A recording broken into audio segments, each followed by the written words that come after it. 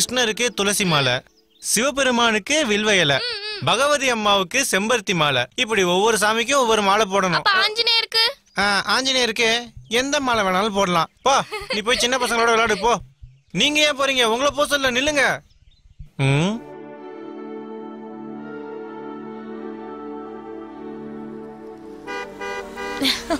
நல்லா இருக்கு ஓ வண்டி வந்துருச்சு போல இருக்கு. சரி இப்போ நம்ம எல்லாரும் கிளம்பலாம். உன்னி கிருஷ்ணா ஐயா? நீ வண்டியில தேவையான பொருள் எல்லாம் எடுத்து வை. சரிங்க ஐயா படா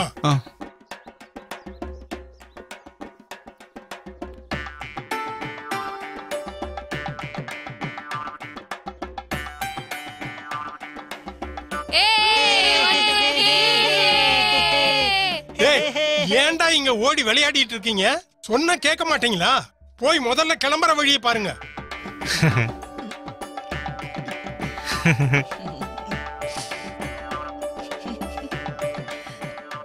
கேசவா? ஸ்ரீதர் வாங்கி கொடுத்த புடவை நல்லாவே இல்ல தெரியுமா? நீ வாங்கி கொடுத்த பாரு அதான் நல்லா இருக்கு. அதுதான் போட்டுக்கிட்டு இருக்கேன். இது யார் வாங்கி கொடுத்தா என்ன? உனக்கு புடவை பிடிச்சிருக்குல்ல? நீ ரெண்டு இட்லியாவது சாப்பிடலாம்ல. நம்ம இன்னும் கிளம்புறதுக்கு ரொம்ப நேரம் ஆகும். நல்ல மாய வரத்து இட்லி. அக்கா ஒருவேளை சாப்பிடலன்னா எனக்கு ஒண்ணும் ஆகாது. நான் தான் ஒவ்வொரு இடமா சுத்திக்கிட்டு இருக்கேனே. பசிக்கும் போது சாப்பிட போறேன். பரவாயில்ல விடு. ஏங்க வெளியே நிறைய பாக்ஸ் எல்லாம் இருக்கு. அதை எடுத்து வைக்கிறதுக்கு ரெண்டு பேர் வேணும். வாங்க. நாங்க சீக்கிரம் வந்துடுறோம். சரி. அம்மா நாங்க போயிட்டு வரோம் சரி சரி. போயிட்டு வாங்க. இது உனக்கு வேண்டாமா? வேண்டாம்மா. இது கொஞ்சம் போட்டு பாரு. சரி போடுங்க. என்னடா இது? நம்ம வீட்டுக்கு மகாலட்சுமி வந்த மாதிரி இருக்கு. உனக்கு எல்லா சௌபாக்கியமும் கிடைக்குமா? ஏ லட்சுமி என்னம்மா பண்ணிட்டு இருக்க நீ? இன்னும் ரெடி ஆகாம என்னம்மா பண்ணிக்கிட்டு இருக்க? வண்டி வந்து வெளியில காத்துக்கிட்டு இருக்கு. முகூர்த்தத்துக்கு ஒரு மணி நேரத்துக்கு முன்னாடியாவது கோயில் இருக்கணும். உங்க ரெண்டு பேத்துக்கும் தனியா சொல்லிட்டு இருக்க முடியாது. சரி இப்ப நாம கிளம்பலாமா?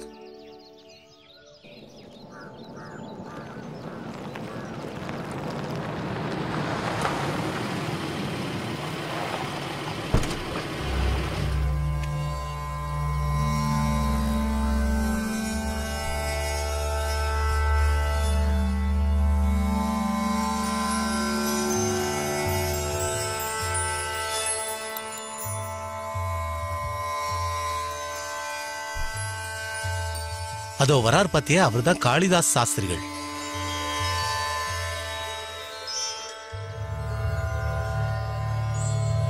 ரொம்ப பெரிய பண்டிதர். இவரை பத்தி நிறைய கேள்விப்பட்டிருக்கேன் ஆனா இப்பதான் முத முறையா பாக்குறேன். பெருமாள்புரத்துல போன வாரம் இவரோட நிகழ்ச்சி ஒண்ணு நடந்தது. உள்ள போய் பார்க்க முடியாத அளவுக்கு கூட்டம் இருந்ததுன்னா பாரு வாங்க வாங்க. வணக்கம் சாமி. நீங்க இங்க வந்ததுல ரொம்ப சந்தோஷம். நீங்க நிறைய கோவில்களுக்கு எவ்வளவோ பண்ணிருக்கீங்க. உங்க வீட்ல ஒரு நல்லது நடக்குதுன்னா நான் வராம இருப்பேனா? உங்களுக்கு இப்ப நேரம் ஆயிடுச்சுல்ல? நான் வந்துட்டேன்னு தாமதிக்க வேண்டாம். உடனே கிளம்புங்க. அப்புறம் ஆமா நீங்க- உங்க அண்ணன் எங்க இருக்கான் அண்ணன் வெளியில இருக்கான். இப்ப கூப்பிடுறேன். ஆ சரி. நாங்க இப்ப கிளம்ப போறோம். பத்தரை மணிக்கு முகூர்த்தம். நீங்க எப்ப வருவீங்க? அண்ணே ஆ? காளிதாஸ் சாஸ்திரிகள் வந்திருக்காங்க. உங்களை கூப்பிடுறாங்க. சரி சரி. ஆ நான் கொஞ்சம் வேலையா இருக்கேன். நான் உன்னை அப்புறம் கூப்பிடுறேன். அவர் நேரா கோயிலுக்கு வரேன்னு சொன்னாரு. முகூர்த்தம் பத்தரை மணிக்கு தானே? பத்தரை மணிக்கு தான் சாமி. இப்ப கிளம்புனா. ஆசீர்வாதம் பண்ணுங்க ஆ, நல்லா இருப்பா நல்லா இருப்பா. உங்க பொண்ணுங்க சுபத்ரா இதோ வர்றேங்க. சீக்கிரமா பொண்ணு கூட்டிட்டு வாமா மெதுவா போமா நேரம் ஆயிடுச்சுமா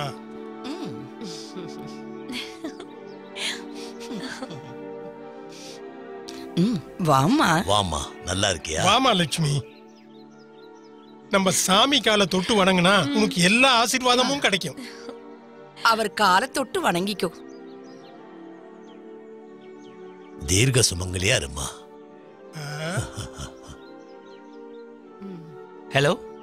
ஐயா என் மனசுக்கு பட்டதை உங்களுக்கு சொல்றேன். நான் ஒரு ஆயிரம் பேருக்கு அடுத்த மாசம் அன்னதானம் போடலாம்னு இருக்கேன். நீங்க அதுல கண்டிப்பா கலந்துக்கணுங்கிறது என்னோட விருப்பம். அதனால உங்க குடும்பத்தோட நீங்க எல்லாரும் அடுத்த மாசம் கோவிலுக்கு வரணும். நிச்சயமா வரோம். எங்க வீட்டுக்கு வந்து எங்க பொண்ணையே ஆசீர்வாதம் பண்ணிருக்கீங்க ஹலோ? ஆமா உன்னிகிருஷ்ணன் தான் பேசுறேன். எங்க நடந்தது? என்னாச்சு? எந்த ஹாஸ்பிட்டல்ல? இல்ல?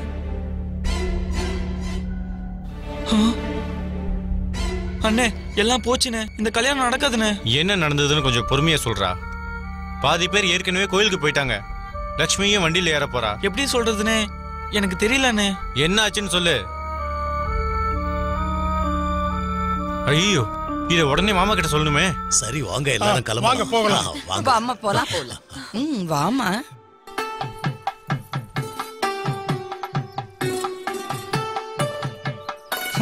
காருக்கு ரோஜா பூவா விளங்கிடும்.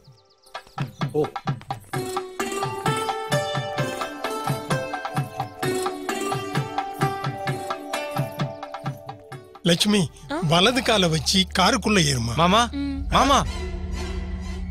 மாப்பிள்ள வந்த வண்டி ஆக்சிடென்ட் அடிச்சான். அவருக்கு அடிபட்டு அடிச்சான் லட்சுமி கொஞ்சம் நில்லுமா. அட கடவுளே. யாரும் வண்டியில ஏற வேணாம். இந்த கல்யாணம் நடக்காது. லட்சுமி வீட்டுக்குள்ள போமா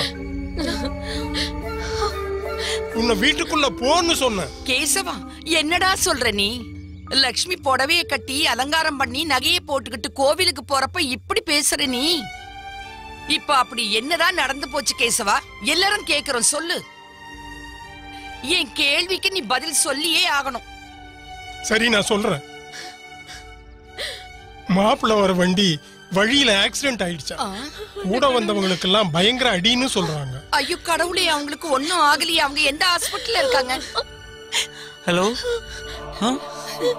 ஹலோ யாரா போன்ல யார் பேசுறாங்கன்னு என்கிட்ட மறைக்காம சொல்லு. மாப்பிள்ளையுடைய அம்மா இறந்துட்டாங்களாம். மாப்பிள்ளை இன்னும் கிரிட்டிக்கல் ஸ்டேஜ்ல தான் இருக்காராம். எதுவும் உறுதியா சொல்ல முடியாதுன்ட்டாங்களாம். லக்ஷ்மி அம்மா நில்லுமா? லக்ஷ்மி நில்லுமா? லக்ஷ்மி சொல்றத கேளு நில்லுமா? லக்ஷ்மி நான் சொல்றத கேளு நில்லுமா? லக்ஷ்மி முதல்ல கதவை தரேமா லக்ஷ்மி கதவை தர கதவை தரேன்னு சொல்றேன்ல லக்ஷ்மி நான் சொல்றத கொஞ்சம் கேளுமா? கதவை தரேம்மா எதுவா இருந்தாலும் பேசிக்கலாம். கதவை தரமா சொல்றத கேளுமா? லக்ஷ்மி! லக்ஷ்மி! ஐயோ யாராவது சீக்கிரம் வாங்கல லக்ஷ்மி இங்க கதவை திறக்க மாட்டேங்கிறா.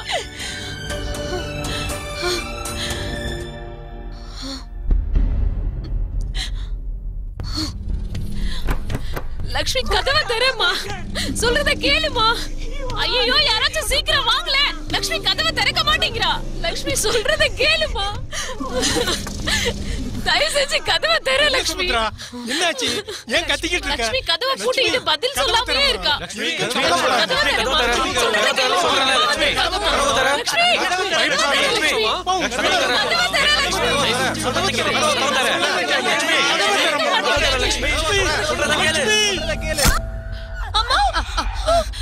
என்னமாச்சு லக்ஷ்மியோட சத்தம் கேட்ட மாதிரி இருந்தது ஆமா எனக்கும் சத்தம் கேட்டது எதுக்கு சத்தம் போட்டா? என்னம்மா? என்ன ஆச்சுமா அழாதம்மா. கடவுளே. என்னாச்சு தெரியலையே. என்னம்மா? என்ன ஆச்சு? எதுக்காக அப்படி கத்தன? சொல்லுமா அப்படி என்னம்மா கனவு கண்ட நீ? உனக்கு பயமா இருந்தா நீ அதை சொல்ல வேண்டாமா லட்சுமி. கேசவன் தான் கூப்பிடுறான்னு நினைக்கிறேன். நான் போய் கதவை திறக்கிறேன். லக்ஷ்மி லட்சுமி ஏமா சத்தம் போட்ட? கதவை திறமா?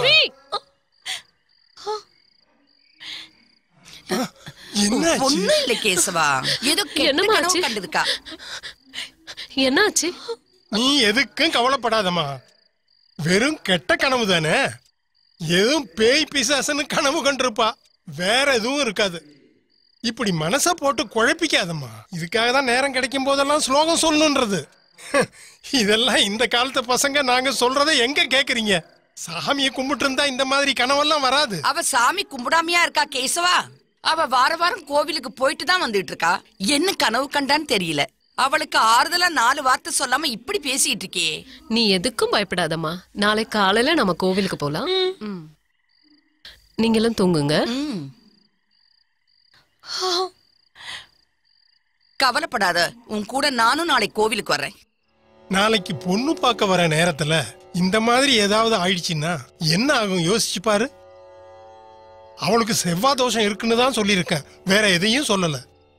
தப்பு பண்றமோன்னு தோணுது.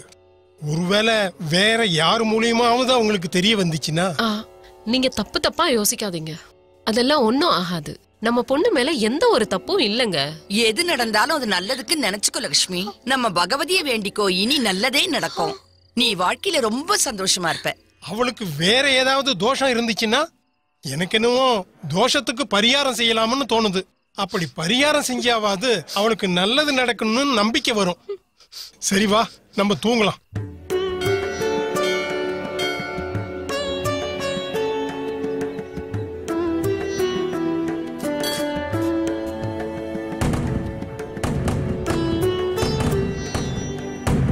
ஏ விஸ்வநாதா அங்க போறது கேசவையா பொண்ணு தானே ஆமா. இதுதான் மூத்த பொண்ணு. கேசவையாவுக்கு மூணு குழந்தைங்க. மூணும் பொண்ணுங்க தான். அது தெரியும். இந்த பொண்ணுக்கு தானே ஏதோ பிரச்சனை இருக்குன்னு சொல்லிட்டு இருந்தாங்க. என்ன பிரச்சனை? ஒரு பிரச்சனையும் கிடையாது.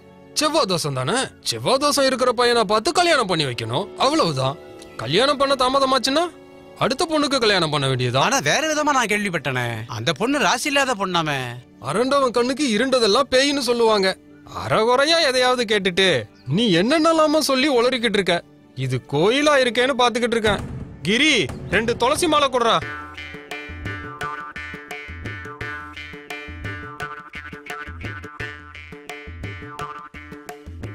உனக்காக எட்டு மணிலேருந்து இங்கே தான் உட்காந்துட்டு இருக்கேன் எப்படா நீ வருவன்னு நான் காத்துக்கிட்டு இருக்கேன். உன்னை பார்த்ததுக்கு அப்புறம் தான் இன்னைக்கு எனக்கு நிம்மதியா இருக்கு. ஆ, தப்பா எடுத்துக்காத. இந்த துளசி மாலை உனக்காக தான் கட்டி வச்சிருக்கேன். உங்க அப்பா மேல எனக்கு கொஞ்சம் மரியாதையும் பயமும் இருக்கு. எனக்கு இந்த ஜோசியம் ஜாதகத்துலலாம் நம்பிக்கையே இல்ல. நம்ம மனசு ஒத்து போகணும். நான் சொல்றது உனக்கு புரியுதா? மாலையை கொடு. நான் தரமாட்டேன். எதுக்காக அவசரப்படுற? ஐயோ பூஜைக்கு நேரம் ஆயிடுச்சு மாலையை கொடு. சரி வரும்போதெல்லாம் என்னி கொஞ்சம் பார்த்துட்டு போ.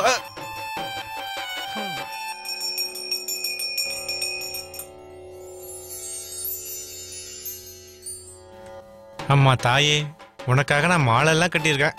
என் வேண்டுதலையும் கொஞ்சம் கவனிச்சுக்கம்மா. நானா இது வரைக்கும் ஆசைப்பட்டு உங்ககிட்ட எதுவும் கேட்டதில்ல. ஆனா இந்த விஷயத்துல மட்டும் தயவு செஞ்சு கருணை கட்டிடுத்தாயே உங்க அருள் மட்டும் எனக்கு இருந்துச்சுன்னா என்னை யாராலையும் அசைக்க முடியாது.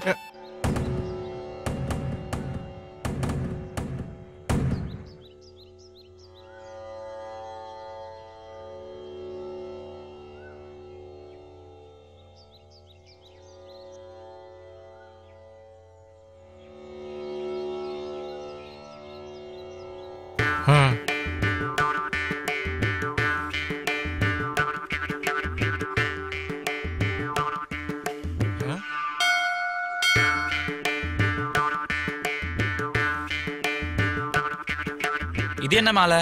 துளசி மாலை மாதிரி தெரியலையே. என்னது இது? கேள்விப்பட்டது இல்லையா. இல்லையே ரோஜா ரோஜா மல்லிகைய மல்லிகைய. அப்படி எல்லா பூக்களையும் ஒண்ணு சேர்த்து ஒரு கதம்பமா பூ கட்டியிருக்கேன். உண்மையாவா? அப்பதான் எல்லா ஆசீர்வாதமும் கிடைக்கும். இந்தா எடுத்துட்டு போ. சரி.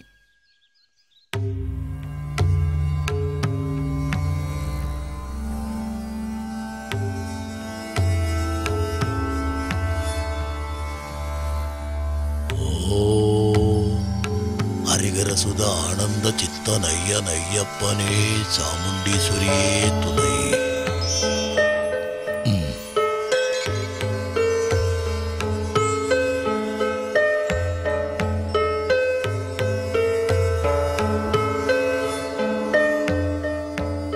சோழியில் சோழியில விழுந்திருக்கிற எண்ணெய் வச்சு பார்க்கும்போது ரெண்டு பிரச்சனை இருக்குன்னு மட்டும் தெரியுது. ஒண்ணு பல ஆண்டுகளுக்கு முன்னாடி அற்ப ஆயுஸ்ல இறந்து போன ஒரு பெண்ணோட ஆத்மா உடம்புல பூந்திருக்கு.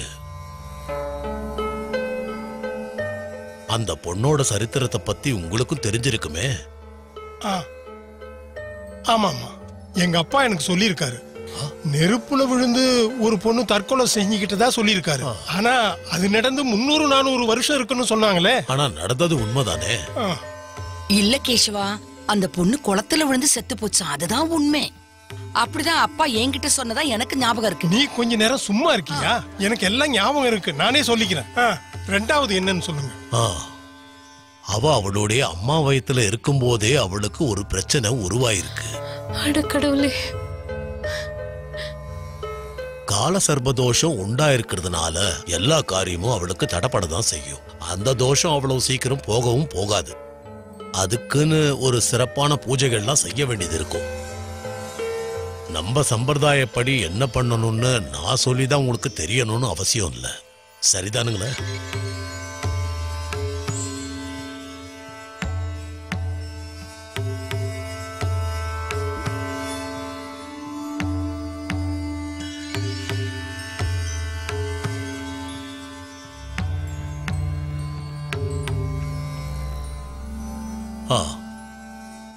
இன்னொரு முக்கியமான விஷயம்.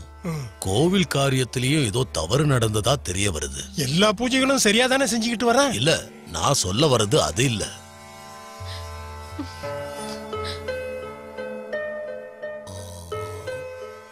ஆ, எனக்கு பதில் கிடைச்சிடுச்சு. செய்ய வேண்டிய பூஜைகள் எல்லாம் ஏதோ சரியா செய்யலன்னு நினைக்கிறேன். அதனாலதான் கடவுளுடைய கோபத்துக்கு ஆளாயிருக்கீங்க? சரிங்க.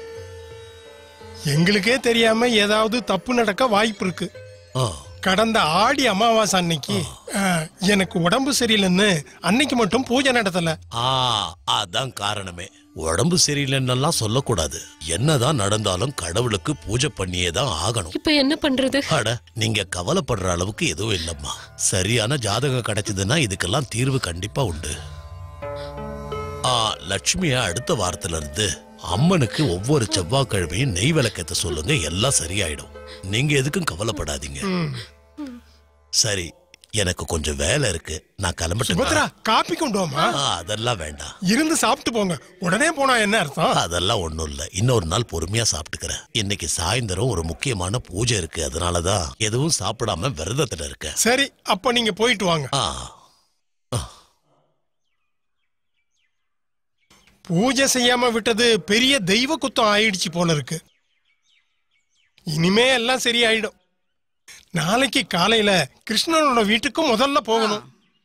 அவருக்கு உடம்பு எப்படி இருக்குன்னு விசாரிச்சிட்டு வரணும். இல்ல கேஷவா அவர் இல்லன்னா என்ன? அவர் பையன் இருக்கான்ல. அவர் இருந்தா நல்லா இருக்குமேன்னு பார்த்தேன்.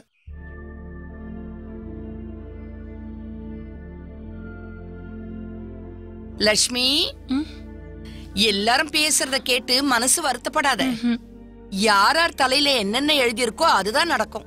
நீ சாமிக்கு விளக்கு போடுறத மட்டும் மறக்க கூடாது ஏன் தான் உனக்கு மட்டும் இப்படி எல்லாம் நடக்குதோ தெரியல. உனக்கு பொருத்தமான ஜாதகத்தோட ஒருத்த வந்தே தீருவான். அது வரைக்கும் நீ காத்துக்கிட்டு தான் இருக்கணும். யாரு என்ன சொன்னாலும் நீ எதையும் மனசுல போட்டுக்காத.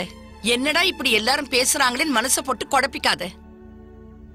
மனசார அந்த கடவுள்கிட்ட வேண்டிக்க. உனக்குன்னு ஒருத்த கண்டிப்பா பிறந்திருப்பான். உன்ன மாதிரி எத்தனையோ பேருக்கு ஜாதகத்தில் தோஷம் இருக்கிறதால கல்யாணம் தடப்படுறது சகஜம்தான். அதுக்காக தீர்வே இல்லைன்னு கிடையாது. நம்ம கடவுளை வேண்டிக்கணும் அவ்வளவுதான். நம்ம அடுத்த வாரமே கோவிலுக்கு போவோம். அவங்க சொல்ற எல்லா பரிகாரத்தையும் செய்வோம். கண்டிப்பா உன் பிரச்சனையெல்லாம் தீரும். அதுக்கப்புறம் உன் ஜாதகத்துல இருக்கிற தோஷம் எல்லாம் விலகிடும். நீ எதுக்கும் பயப்பட வேண்டாம். தைரியமா இரு. என்ன பாட்டி? லக்ஷ்மி கிட்ட ஏதேதோ சொல்லி பயமுறுத்துறீங்களா? என்னால அவளை பயமுறுத்த முடியுமா? நான் பேசுறதெல்லாம் ஒளிஞ்சிருந்து ஒட்டு கேட்டீங்கல்ல? சரி பாட்டி நீங்க யாரையாச்சும் லவ் பண்ணிருக்கீங்க? நான் பண்ணாததா? அப்ப எனக்கு ஒரு பதினாறு வயசு இருக்கும். கேசவனுக்கு கதகளி சொல்லி கொடுக்கறதுக்காக வந்தாரு. அவரை பார்த்த உடனே எனக்கு ரொம்ப பிடிச்சு போச்சு. கேசவனுக்கு கதகளில அரங்கேற்றம் நடந்ததோ இல்லையோ எனக்கு இது மூலமா ஒரு நல்ல துணை கிடைச்சது. கதகளிக்காக வேஷம் எல்லாம் போட்டுக்கிட்டு வந்தாரு. அவர் வடநாட்டுக்கெல்லாம் போய் அந்த காலத்திலேயே வேஷம் போட்டு நடிச்சிருக்காரு. நான் அவரை முத முதல்ல தனியா சந்திச்சப்பவே சொல்லிட்டேன். உங்களை எனக்கு ரொம்ப பிடிச்சிருக்குன்னு. அதுக்கு அவர் என்ன கேட்டார்னா அது எப்படி என்ன பார்த்த உடனே உனக்கு பிடிச்சிருச்சு நான் உங்களை ரொம்ப நாளா பார்த்துக்கிட்டு இருக்கேன். அதனாலதான் உங்களை பிடிச்சிருக்குன்னு. அப்போ உங்களுக்கு வெக்கம் வரலையா? அவரை நினைச்சா மட்டும்தான் எனக்கு ரொம்ப வெக்கம் வரும். ஆனா நாங்க கல்யாணம் பண்ணிக்க முடியாம போச்சு. ஏன்? என்ன பிரச்சனை? ஜாதக தோஷம்தான். எங்க ரெண்டு பேருடைய ஜாதகம் ஒத்தே வராதுன்னு உறுதியா சொல்லி யாரும் எங்க கல்யாணத்துக்கு சம்மதிக்கல. அப்ப நீங்க மனசு உடைஞ்சு போயிருப்பீங்களே. ம், பின்ன இல்லையா என்ன? ஏதாவது இதுக்கு பரிகாரம் இருக்கான்னு கூட கேட்டோம். ஆனா இதுக்கு எந்த பரிகாரமும் இல்லைன்னு சொல்லிட்டாங்க. இந்த பிரச்சனைக்கு நடுவுல நான் மட்டும் ஒரே ஒரு முடிவை மட்டும் உறுதியா எடுத்தேன். நான் கல்யாணமே பண்ணிக்க மாட்டேன்னு கடைசி வரைக்கும் இப்படியே வாழ்ந்துடலான்னு. ஆனா உனக்கு அந்த மாதிரி எல்லாம் நடக்காது. வருத்தப்படாத. லக்ஷ்மி அக்காவெல்லாம் நாங்க ஒண்ணும் அப்படி விட்டுடவே மாட்டோம். நீங்க வேணா பாத்துக்கிட்டே இருங்க. கூடிய சீக்கிரமே உங்களுக்கு கல்யாணம் நடக்கும்.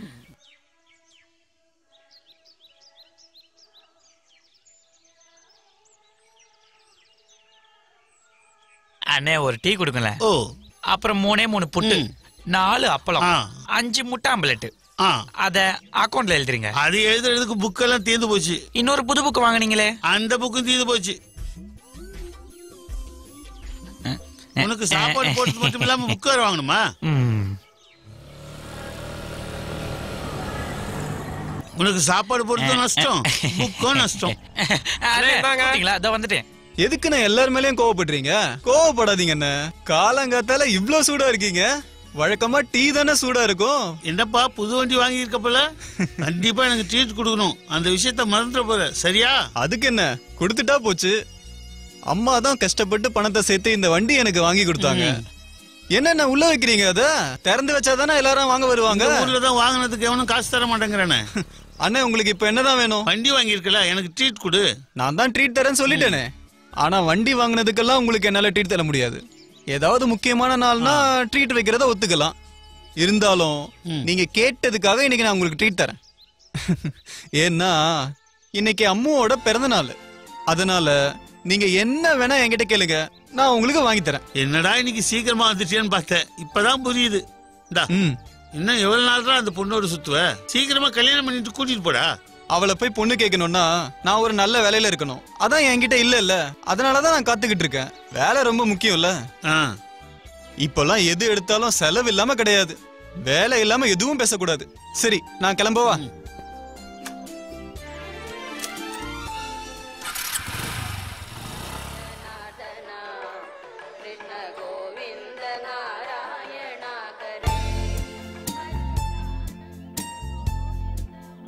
அக்கா என்னடா? ஒரே ஒரு நிமிஷம் இங்க நிக்கிறியா? நான் போய் மீனை பார்த்துட்டு வரேனே. வேண்டாம். நீ எங்கேயுமே போக வேண்டாம். போன தடவை போனப்ப ரெண்டு மீன் செத்து போயிடுச்சு. அது எப்படி? நீ போய் பார்த்தல? அதான் நீ கண்ணு வச்சதால செத்து போயிடுச்சு. ஐயோ நான்லாம் எதுவும் கண்ணு வைக்கல. நிஜமா? இல்ல கோயில் மீன்ல அதெல்லாம் எப்படி கண்ணு வைப்பேன்? ஹம். சீக்கிரமா பார்த்துட்டு வா. ம். லேட் ஆயிடுச்சு. அப்பா கிட்ட சொல்லி உதவங்க வச்சிருவேன் பாத்துக்கோ சரிக்கா. ஹம்.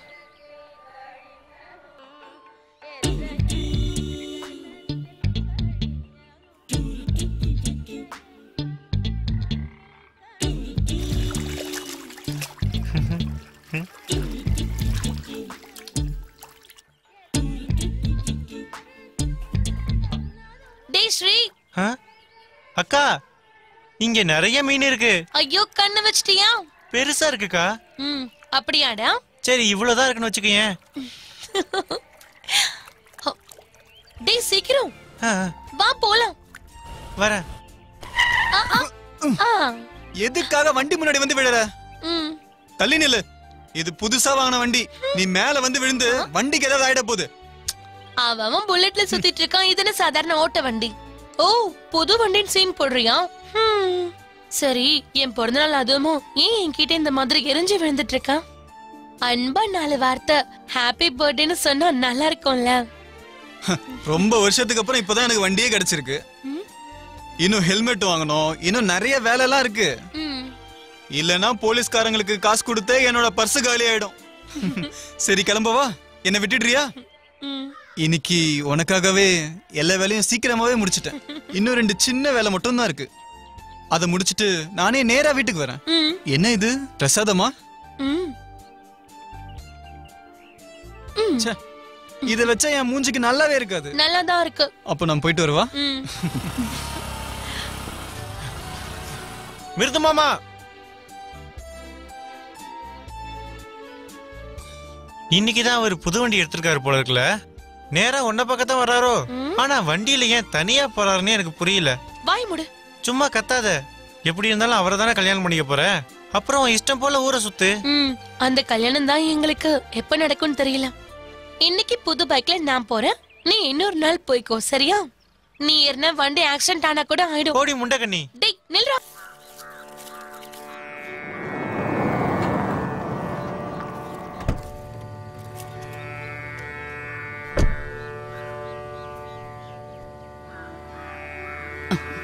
அண்ணன் வந்திருக்காங்க?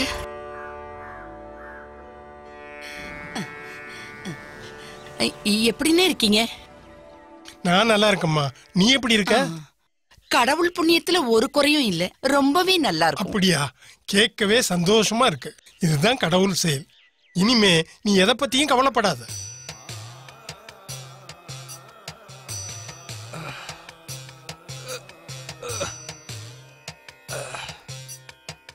அண்ணே நீங்க இவ்ளோ காலையில வந்திருக்கீங்க. ஏதாவது முக்கியமான வேலையா? நான் இங்க வந்ததே உங்களை பார்த்துட்டு போறதுக்கு தான்மா. என் பையன் படிச்சுட்டு வெளியில வேலை தேடிட்டு இருக்கான். தெரியுமா? அவனுக்கு மட்டும் கொஞ்சம் சீக்கிரம் வேலை கிடைச்சா நல்லா இருக்கும். அண்ணே நான் உங்க நேரத்தை வீணடிக்கலையே. அப்படியெல்லாம் ஒண்ணும் இல்லம்மா. அண்ணே நீங்க உள்ள வந்து உட்காருங்க. ஆ. வாங்க. வாங்க. உட்காருங்க. என்னங்க? கேசவ அண்ணன் வந்திருக்காங்க. காலையில இருந்து மயக்கத்துல தான் இருக்காரு அண்ணன். அப்ப அவரை எழுப்பாத விட்டுடுமா? ம். நான் முழிச்சுக்கிட்டு தாம்மா இருக்கேன். ஓ முழிச்சிட்டு இருக்கியா? இப்போ உனக்கு உடம்புக்கு எப்படி இருக்கு? கடவுளோட ஆசீர்வாதத்தாலையும் இதோ இவளும் என் பையனும் பாத்துக்கறதாலையும் ஏதோ உயிர் ஓடிக்கிட்டு இருக்கு. உடம்பு சரியில்லைன்னா இப்படிதான் கண்டதும் மனசுக்கு தோணும். கண்டிப்பா இதுல இருந்து நீ குணமாயிடுவேன்னு எனக்கு நம்பிக்கை இருக்கு. சரி இப்போ நான் எதுக்காக இங்க வந்தேன்னா ஒரு முக்கியமான விஷயத்த உங்ககிட்ட பேசுறதுக்கு. சாமியார் நம்ம வீட்டுக்கு வந்தப்போ பூஜை செய்யாம விட்டதுனால தெய்வ குத்தம் ஆயிடுச்சுன்னு சொன்னாரு. அதனால உடனே பரிகாரத்தை செஞ்சு எல்லாத்தையுமே சரி பண்ணணும்னு சொல்லியிருக்காரு. கடவுளோட கோபம் நம்மள சும்மா விடாது. கண்டிப்பா இதுக்கு பரிகாரத்தை நம்ம செஞ்சே ஆகணும். யார் அதை பண்ண முடியும்? நான் இருக்கிற நிலைமையில என்னால எழுந்திருக்க கூட முடியாது. எனக்கும் வரணும்னு தான் ஆசை. எனக்கு முடக்குவாதத்தை கொடுத்து இப்படி கடவுள் சோதிச்சிட்டாரு. இப்ப நான் எதுக்கும் பயன்படாத உடைஞ்சு போயிருக்கிற ஹார்மோனிய பெட்டி மாதிரி. எனக்கும் என்ன பண்றதுன்னு தெரியல கிருஷ்ணா. எனக்கும் புரியுதுங்க ஐயா. நம்ம ஊர்ல அப்படி வேற யாரும் இல்லைங்களே. நான் எழுந்து வந்தாதான் பூஜையே பண்ண முடியும். இந்த பாரம்பரியத்தை யாரு காப்பாத்த போறது? பண்ண பூஜைக்கெல்லாம் புண்ணியம் கிடைக்கும்னு பார்த்தா இப்ப பாவம் பண்ண மாதிரி ஆயிட்டனே. என் பையனாவது இதை செய்வான்னு பார்த்தேன். அவனுக்கும் இதுல எல்லாம் ஈடுபாடு இல்லாம போச்சு. கேட்டா நிறைய படிச்சுட்டேன்னு சொல்றான். ஆனா எல்லா மந்திரமும் அவனுக்கு தெரியும். ஆனா இந்த வாழ்க்கை அவனுக்கு பிடிக்கலன்னு சொல்லும்போது என்னால அவனை வற்புறுத்த முடியல. இப்ப எனக்கு தெரிஞ்சது எல்லாம் இந்த மருந்தும் எனக்கு தெரிஞ்ச மந்திரங்கள் மட்டும்தான். எல்லாம் சரியாயிடும் கிருஷ்ணா. சரி உங்க சொந்தக்காரங்க யாராவது இந்த வேலைக்கு வர விருப்பமா இருப்பாங்களா? எங்க சித்தப்பாவோட தூரத்து சொந்தக்காரங்க இருக்காங்க. நான் அவர்கிட்ட பேசுறேன். ஆ, அவர் கிடைச்சாருன்னா ரொம்ப வசதியா இருக்கும். நம்ம ஸ்ரீலக்ஷ்மிக்கு ஏதாவது மாப்பிள்ளை வீடு வந்தாங்களா அண்ணே இப்போதைக்கு எந்த வரணும் வரலம்மா. முதல்ல கோயில் வேலையெல்லாம் முடிச்சே ஆகணும். அவ ரொம்ப நல்ல பொண்ணு. நிச்சயம் அவளுக்கு நல்ல மாப்பிள்ளை கிடைப்பான். ஆ, சரி நான் போயிட்டு வரேன். இத நீ வச்சுக்கோ. என்ன உதவி வேணும்னாலும் தயங்காம கேளு. எதுனாலும் எனக்கு ஃபோன் பண்ணி சொல்லு. ஐயா இதுக்கு நான் என்ன கைமாறு பண்ண போறேனே தெரியலங்க ஐயா.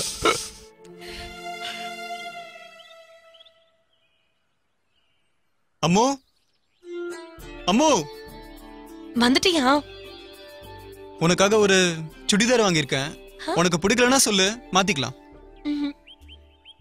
உனக்கு வாங்கும்போது உன் தம்பிக்கும் வாங்கினேன் ஷர்ட்டும் பேண்ட்டும். எதுக்கு இது? எனக்கு வாங்கினா பத்தாதா? அவனுக்கும் எதுக்கு வாங்கின? தேவையே இல்லையே. எப்படி இருந்தாலும் நாளைக்கு நான் தானே வாங்கி கொடுக்கணும்? நாளைக்கு நம்ம புது ஸ்கூட்டர்ல இந்த ஊரையே சுத்தி வரணும். அப்புறம் பாரு இந்த ஊர்ல இருக்கிற ஒவ்வொருத்தரும் நம்மளை பத்தி மட்டும் தான் பேசிட்டு இருப்பாங்க. என்னப்பா இங்க வந்து என்ன கதை விட்டுட்டு இருக்க? அவகிட்ட எல்லாம் வார்த்தையே விட்டுறாத அவ்வளவுதான். பாருங்கப்பா நான் ரொம்ப ஆசையா இருந்தேன். ஒரே ஒரு சுடிதார் வாங்கி கொடுத்து என்னை ஏமாத்திட்டாரு.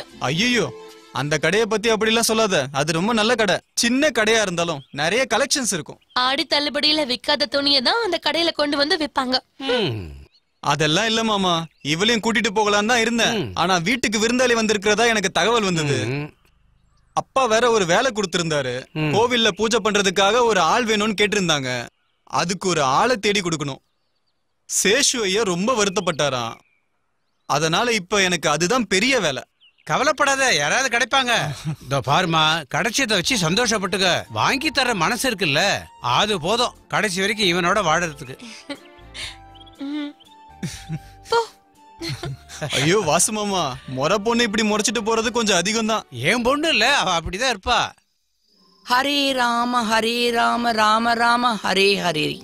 ஹரே கிருஷ்ண ஹரே கிருஷ்ண கிருஷ்ண கிருஷ்ண ஹரே ஹரே. ராம ராம ராம ராம ராம். பகவானே. என்னடா போன காரியம் என்னாச்சு? ஒருத்தர் அவரோட வீட்டை வித்துட்டு எங்கேயோ போயிட்டாராம். இன்னொருத்தர் வந்து கோவில்ல ஏதோ வழுக்கி விழுந்து கை கால் உடஞ்சு வீட்டுல படுத்துக்கிட்டு இருக்காராம்.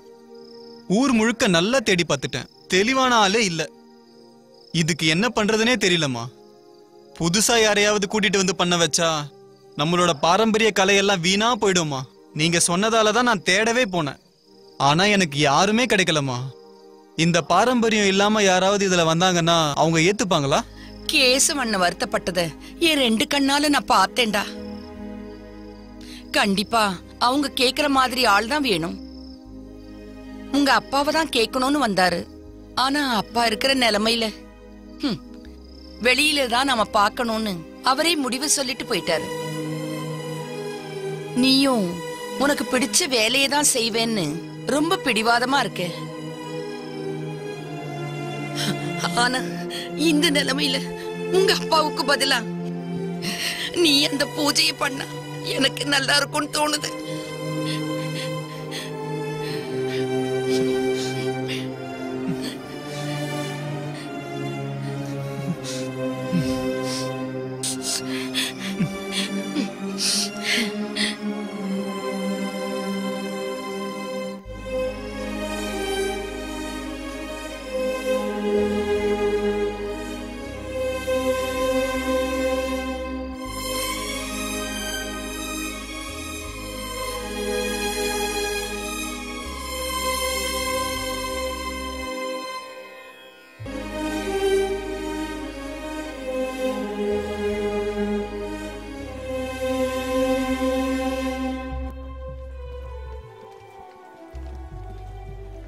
சுபத்ரா சீக்கிரமாம்மா. இதோ வரேங்க.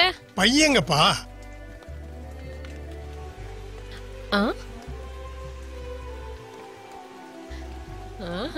இனிமே இந்த ரெண்டு பசங்களும் நம்ம வீட்ல தான் இருக்க போறாங்க.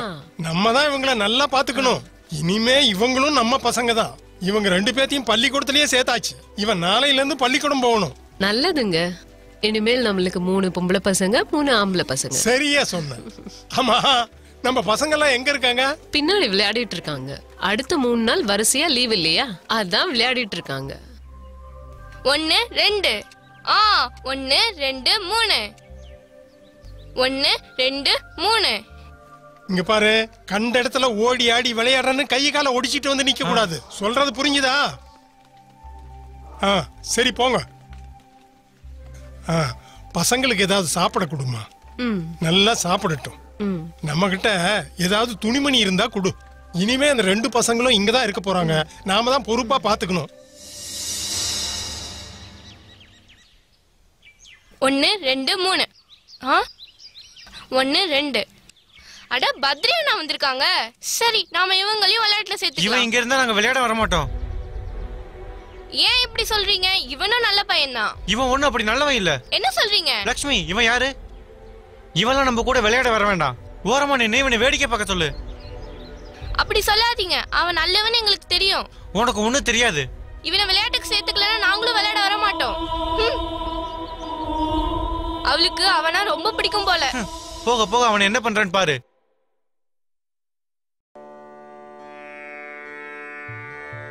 ஐயா? ஐயா ஓய்வு எடுக்கிறீங்க. நாங்க வேணா அப்புறமா வரட்டுமா? சே சே அதெல்லாம் ஒண்ணும் இல்லப்பா. வாங்க என்ன விஷயம் சொல்லுங்க? இல்ல கணக்கு அட, காமிக்கலான்னு கணக்கெல்லாம் ஒண்ணும் பார்க்க வேண்டாம்ப்பா. சுபத்ரா ஆ? குடிக்க காப்பி எடுத்துட்டு வாமா இது வரேங்க. அதெல்லாம் ஒண்ணு வேணாங்க. ஆ? என்ன நீங்க ரெண்டு பேரும் சொல்றீங்க? எங்க வீட்டுக்கு வந்துட்டு காப்பி தண்ணி கூட குடிக்காம போயிடுவீங்களா? நான் எதுவும் சொல்லல. வீட்டுக்கு வந்தவங்கள உபசரிக்கிறதுல ஊர்ல உங்களை விட்டா வேற யாருக்கும் இந்த குணம் இல்லைன்னு இங்க எல்லாருக்கும் தெரியும். இவங்களுக்கு குடு குடு.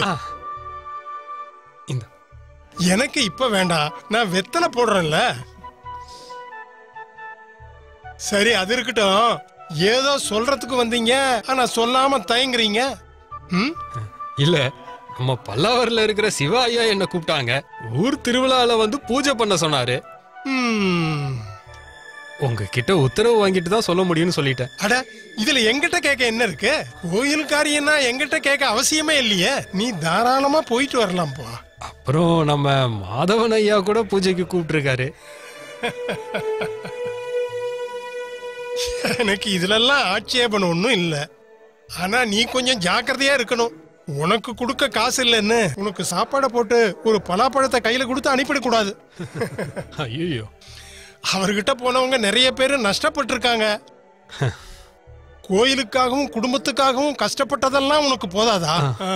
யோசிச்சு அதையும் செய். ஏன்னா உன்னை விட்டா இந்த ஊர்ல பூஜை செய்யறதுக்கு வேற யாரும் இல்ல. அப்படிலாம் இல்லைங்க. அதுக்கு நான் மட்டும் காரணம் இல்லைங்களே. எல்லாத்துக்கும் காரணம் நான் கும்பிடுற அந்த பகவதி தாய் தான். ம்.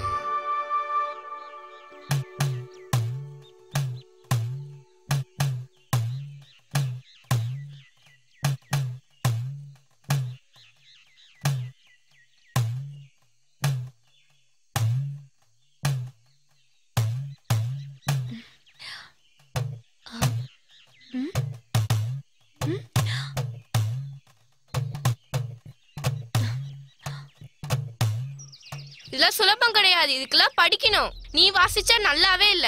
அவன் வாசிச்சா கேட்கணும் போல இருக்கு. என்னை எல்லாம் அவன் கூட சேர்த்து வச்சு நீ பேசிக்கிட்டு இருக்காத. இந்த வாத்தியத்தை யார் நினைச்சாலும் வாசிக்க முடியும். தயவு செய்து இந்த வாத்தியத்தை எப்படி அடிக்கணும்னு கத்துக்கோ. இல்லனா அவனை தான் பாராட்டுவாங்க. இந்த மேலத்தை வாசிச்சா அருள் வர மாதிரி இருக்கணும். அதனாலதான் அவனை எல்லாருக்கும் ரொம்பவே பிடிச்சிருக்கு. அம்மாக்கு லட்சுமிக்கு பாட்டிக்கெல்லாம் பிடிச்சிருக்கு. இப்போ உனக்கும். இன்னும் கொஞ்ச நாள்ல உன்னையும் என்னையும் இந்த வீட்டை விட்டு வெளியே துரத்தி அவன் இந்த வீட்டுக்குள்ள வந்து மொத்த அதிகாரத்தையும் அவன் எடுத்துக்க போறான் பாரு.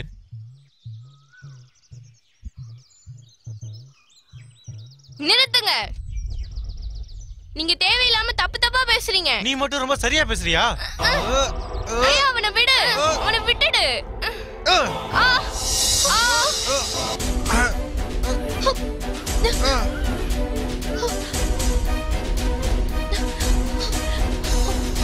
என்னம்மா ஆச்சு? அங்க பத்ரியும் அவனும் கட்டி புரண்டி சட்டை போட்டுட்டு இருக்காங்க. வா போலாம். அவனை கீழே தள்ளு. இனிமே இங்க வலிக்கு நீ வருவ? வருவ. நாங்க யாரு தெரியுமா உனக்கு? நிறுத்துப்பா. சொல்றத கேளு. நிறுத்துங்க. என்னாச்சுப்பா? எதுக்கு இப்படி சண்டை போட்டுக்கிறீங்க? இவனை இங்க இருந்து கூட்டிட்டு போய் உங்க வீட்டுல வச்சுக்கோங்க. இங்க வேண்டாம். இவன் தான் எங்க கிட்ட முதல்ல சண்டை போட்டான். இல்ல இவங்க தான் இவங்க கிட்ட தேவையில்லாம வம்பு எடுத்தாங்க. என்னப்பா? நீங்க இப்படி நடந்துக்கலாமா? அந்த தர்ம தேவதை உங்களுக்கு பொறுமையை கொடுக்கட்டும். நீங்க விளையாடுற பொருள் இல்ல இந்த வாத்தியம். தெய்வீகமான நம்ம பகவதி அம்மனை பத்தி பாடுறதுக்காகவே கண்டுபிடிக்கப்பட்ட வாத்தியம். அதுல நீங்க விளையாண்டு அதோட மகிமையை கெடுத்துறாதீங்க. இவன் வயசுல சின்ன பையன். இவனை மன்னிச்சிருங்க. இவன் என்னோட பையன் கிடையாது. என் அண்ணனோட பையன்.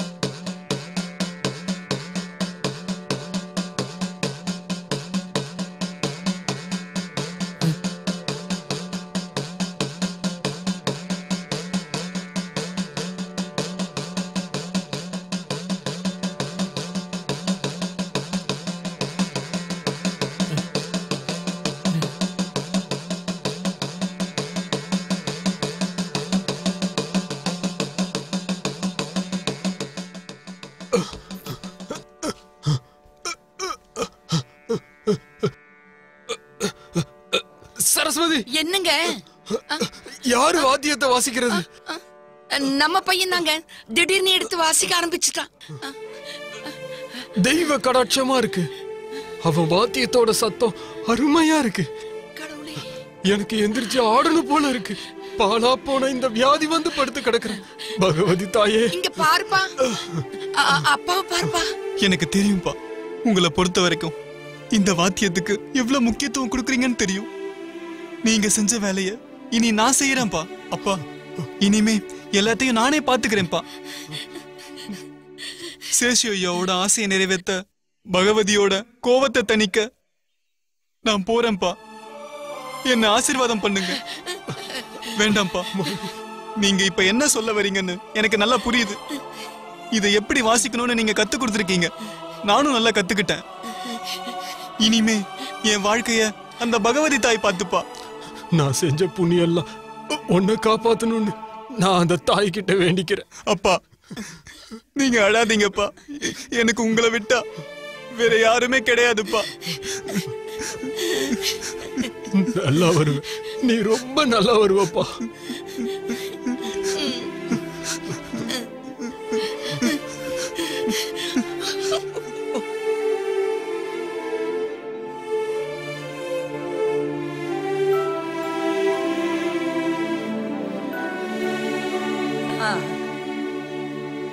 பத்திரமா போயிட்டு வா.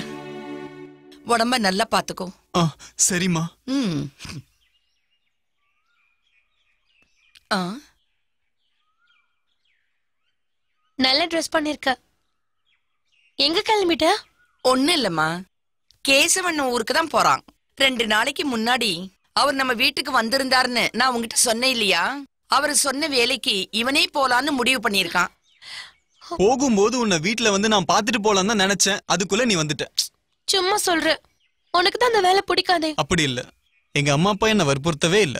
நானே விரும்பி தான் அங்க போறேன். கொஞ்ச நாளைக்கு மட்டும்தான். அப்ப எதையும் என்ன கேட்டு முடிவெடுக்கவே மாட்டியா? என்ன கேட்காம அப்படியே போயிட்டே இருக்கா? நீ என்கிட்ட மட்டும் கேட்டிருந்தா நான் வேண்டாம் நான் சொல்லிருக்க போறேன். நான் என்ன பண்ணாலும் அதுல ஒரு அர்த்தம் இருக்கும்னு உனக்கு புரியுமா புரியாதா? அப்புறம் என்ன? அப்பாவுக்கு இப்ப உடம்பு முடியல. அதனாலதான் அவருக்கு பதிலா நான் போயிட்டு வரலான்னு இருக்கேன். இதுல எதுவும் தப்பு இருக்கிறதா தெரியல.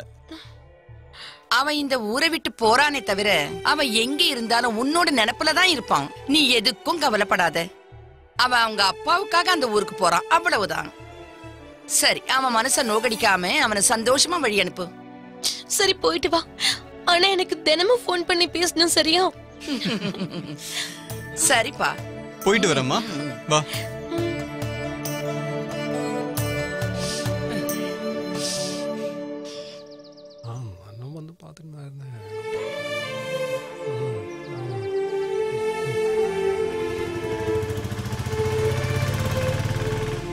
ஆ சொல்றா. எங்க வரணும்? வாசு மாமா நான் கொஞ்ச நாளைக்கு திரிகோணமலைக்கு போயிட்டு வரலான்னு இருக்கேன். என்ன திடீர்னு? எல்லாத்தையும் விவரமா இவகிட்ட சொல்லியிருக்கேன். நீ சொல்றது எனக்கு ஒன்றும் புரியல. ஆனா நல்ல காரியத்துக்கு போற மாதிரி இருக்கு. இந்தாம்மா இதை கொடுத்து அனுப்புமா திருகோணமலை திருகோணமலை வாங்க.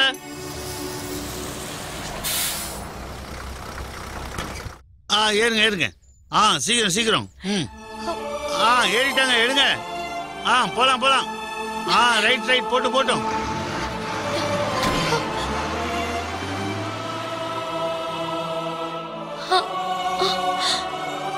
ஐயோ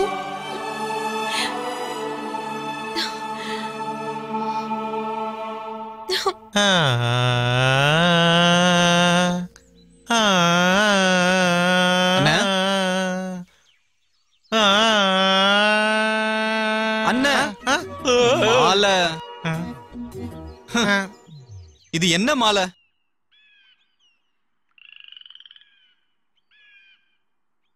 அண்ணா கொஞ்சம் நில்லுங்கண்ணே நில்லுங்க நில்லுங்க நில்லுங்க. பாட்டை கேட்டேன். ரொம்ப நல்லா இருந்தது. நீங்க இந்த ஊருக்கு புதுசா தானே வந்திருக்கீங்க? கேள்விப்பட்டேன். கிருஷ்ணன் ஐயாவோட பையன் தானே நீங்க? ஆமா. உன்னோட பேர் என்ன சொல்லு? என் பேரு கிரீஷ். ஆனா ஸ்ரீலக்ஷ்மி மட்டும் என்னை எப்பவும் கிரிகிரின்னு தான் கூப்பிடுவா. கீரியா? கீரி இல்ல கிரி. கிரி. ஓ அப்போ நானும் உன்னை கிரிகிரினே கூப்பிடுறேன். கிரிகிரின்னு ஸ்ரீலக்ஷ்மி மட்டும் கூப்பிட்டா போதும். கிரிகிரின்னு கூப்பிடுற உரிமையை நான் ஸ்ரீலக்ஷ்மிக்கு மட்டும்தான் கொடுத்துருக்கேன். இதுல ஏதோ ஒரு உள்நோக்கம் இருக்கிற மாதிரியே தெரியுது. எனக்கு அவளை ரொம்ப பிடிக்கும். அவளுக்கு செவ்வாய் தோசை இருக்குன்னு. சொல்லி அவ கல்யாணத்தை தடுத்து நிறுத்தினாலும் எனக்கும் அவளுக்கும் பொருத்தம் இருக்குன்னு எல்லாருக்கும் தெரியதான் செய்யுது. இனி யாரும் வரமாட்டாங்க. அந்த பகவதி தாய் எனக்கு தான் அவன்னு எழுதி வச்சிருக்காங்க. சரி அந்த ஸ்ரீலக்ஷ்மிக்கு உன்னை ரொம்ப பிடிக்குமா? நீங்க வேற என்ன அவளுக்கு உண்மையிலேயே ரொம்பவே பிடிக்கும். ஓஹோ இப்போ எங்க இருக்கா? இமயமலைக்கு போயிருக்கா. எதுக்காக கோவப்படுற? அதை விடுங்க நான் ஒரு கனவு கண்டேன். ஸ்ரீலக்ஷ்மிக்கும் எனக்கும் கல்யாணம் ஆகுற மாதிரி. ம். அவ என் பக்கத்துல வந்து உட்காந்து எனக்கு வெத்தலை மடிச்சு கொடுக்குற மாதிரி. அதுக்கப்புறம் அப்புறம் அதுக்கப்புறம் நின்னு கேட்டு போங்க. ஏய் உன் கனவை நீயே கண்டுக்கோ. ஆ? ஆ. நீ போ நான் பாத்துக்கிறேன். கனவுங்கிறது அதிர்ஷ்டத்துக்கு தான் வரும். ரொம்ப ஓவரா பேசுறனோ? என்ன நடக்குதுன்னு பார்க்கலாம் பாட்டி நான் வரல பாட்டி என்ன விட்டுரு பாட்டி நான் வர மாட்டேன் பாட்டி என்ன விட்டுரு பாட்டி எனக்கு பயமா இருக்கு. நான் தான் சொல்லிக்கிட்டே இருக்கேன்ல. ஏன் உயிரை வாங்குற? எனக்கு சின்ன வயசுல இருந்த வெடி நான் பையன் உனக்கு தெரியும்ல? எனக்கு சத்தத்தை கேட்டாலே பயமா இருக்கும் தெரியும்ல?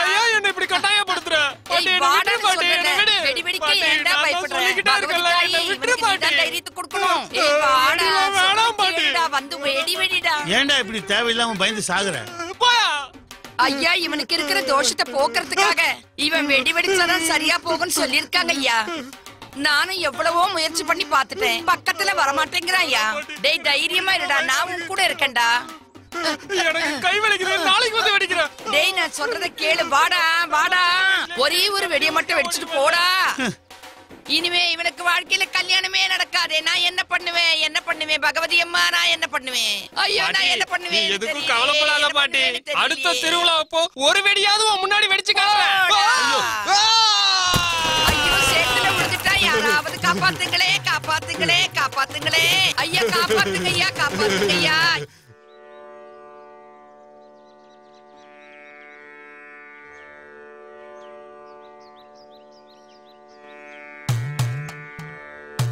மிருது? மிருது?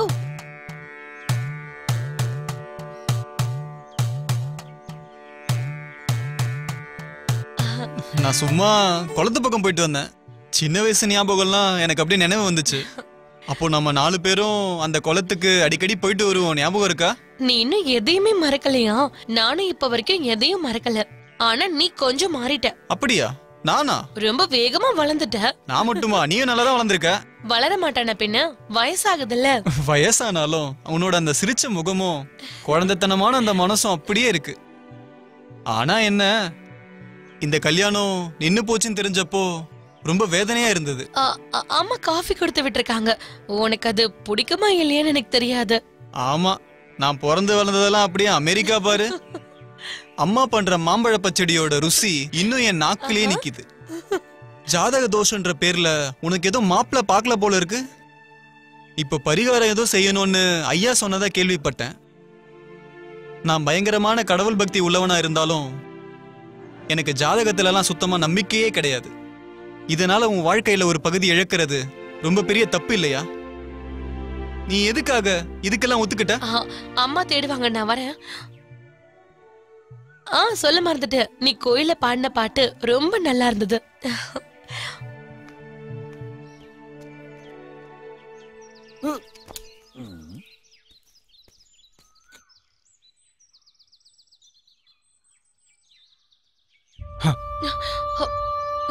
எத்தனை நாளா கேக்குறேன்?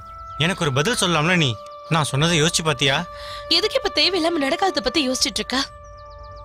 யார் சொன்னா இது நடக்காதுன்னு? அந்த பகவதி அம்மன் கைவிட மாட்டாங்க. ஜாதகத்தெல்லாம் நீ நம்பாத.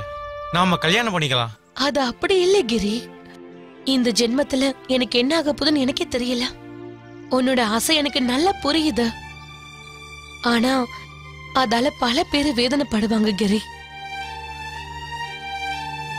நீ மட்டும் மனசை வச்சினா நாம யாருக்கும் தெரியாம கிரி வேண்டாம்.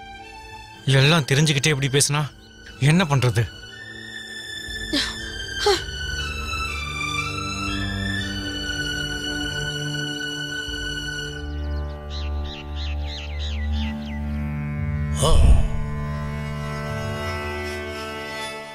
ஓம் கிரீம் புர புர ரஸ்த புர ஹோர ஹோர அகோர அகோர நரதூர சட சட பிரச்சன பிரச்சட கக கக மம மம. பெந்தய பெந்தய மோதய மோதய ஆகாய பாதாய அஹம்சே ஓ ஆ. இப்ப நேரம் சரியா இருக்கு. அந்த பூவை கொடுங்க. ஓ ஸ்வாகா லட்சுமி!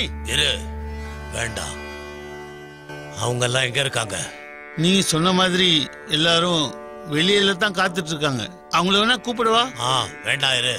பூஜையை தொடரலாம். உன்னி கிருஷ்ணா இப்ப விஷயம் கைமீறி போயிடுச்சு. நாம கல்யாண ஏற்பாடுகள்லாம் பண்ணதுல இருந்தே இந்த வீட்ல ஒரே குழப்பமா ஏற்பட்டிருக்கு. அவளுக்கு நிச்சயம் பண்ணதுல இருந்தே ஒரே பிரச்சனையா போயிட்டு இருக்கு பிரச்சனை அவளுக்கு மட்டும் இல்லைண்ணே. இந்த வீட்டில் இருக்கிற நம்ம எல்லாருக்கும் தான். இப்போ இந்த வீட்டில் யாருமே நிம்மதியாவே இல்லை. என்னத்த சொல்றது? இதெல்லாம் உன்னோட தப்பு தான் நான் முதல்லயே சொன்னப்ப நீ கேட்கவே இல்ல. அது இல்லைண்ணே. என்ன தப்பா நினைக்காத.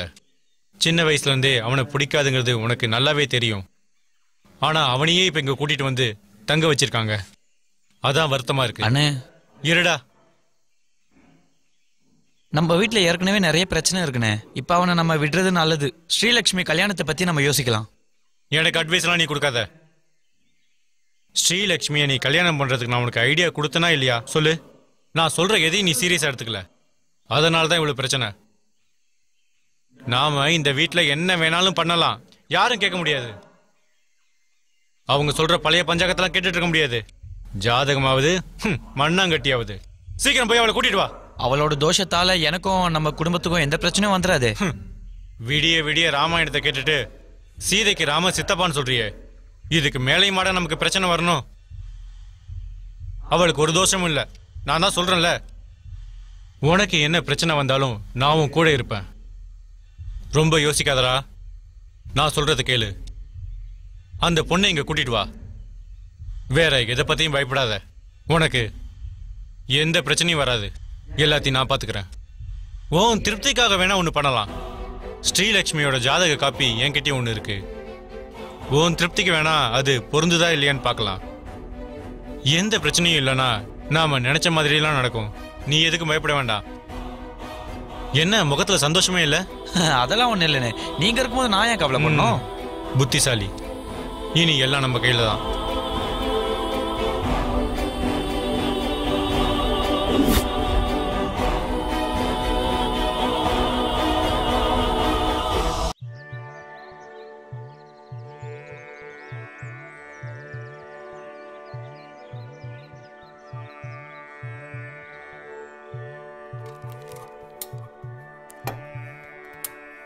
சாரி இன்னைக்கு கொஞ்சம் லேட் ஆயிடுச்சு. இன்னைக்கு காலையில கோயிலுக்கு போயிட்டு வந்தோம். சே சே அதெல்லாம் ஒன்றும் பிரச்சனை இல்லை. பொதுவா காலையில நான் எதுவும் சாப்பிட மாட்டேன். அதனால எனக்கு எந்த பிரச்சனையும் இல்லை. வருத்தப்படாத. சரி நான் உன்கிட்ட ஒரு விஷயம் சொல்லணும். பரவாயில்ல நான் அப்புறம் சொல்றேன். எதுக்கு அப்புறம் சொல்லிக்கிட்டு? இப்பவே சொல்லு. இல்ல இப்ப வேண்டாம். நான் அப்புறமா சொல்றேன். அப்புறம் நான் ஒன்னு கேள்விப்பட்டனே. உன்னிகிருஷ்ணனோட ஜாதகம் உனக்கு ரொம்ப பொருத்தமா இருக்குன்னு சொன்னாங்க. ரொம்பவே நல்லதா போச்சு. என்ன? உன் முகத்துல சந்தோஷமே இல்லாம இருக்கு. அவன் என்கிட்ட எப்படி நடந்துகிட்டாலும் அவன் உனக்கு நல்லவன் தான். சின்ன வயசுல இருந்தே உனக்கு அவனை நல்லா தெரியும்ல? இந்த ஸ்ரீலக்ஷ்மிக்கு அந்த உன்னிகிருஷ்ணன் தான் சரியான ஆளு.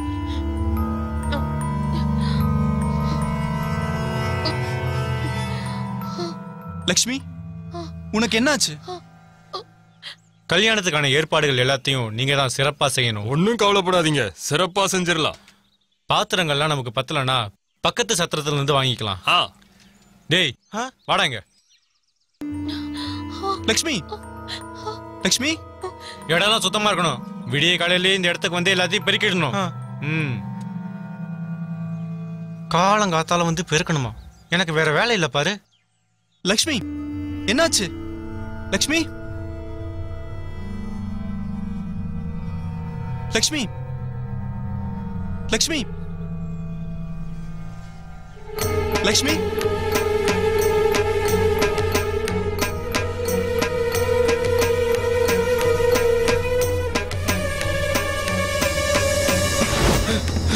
அண்ணா ஒரு பிரச்சனை. என்னடா? அவனோட ரூம்ல? லட்சுமி லட்சுமிக்கு என்னாச்சு?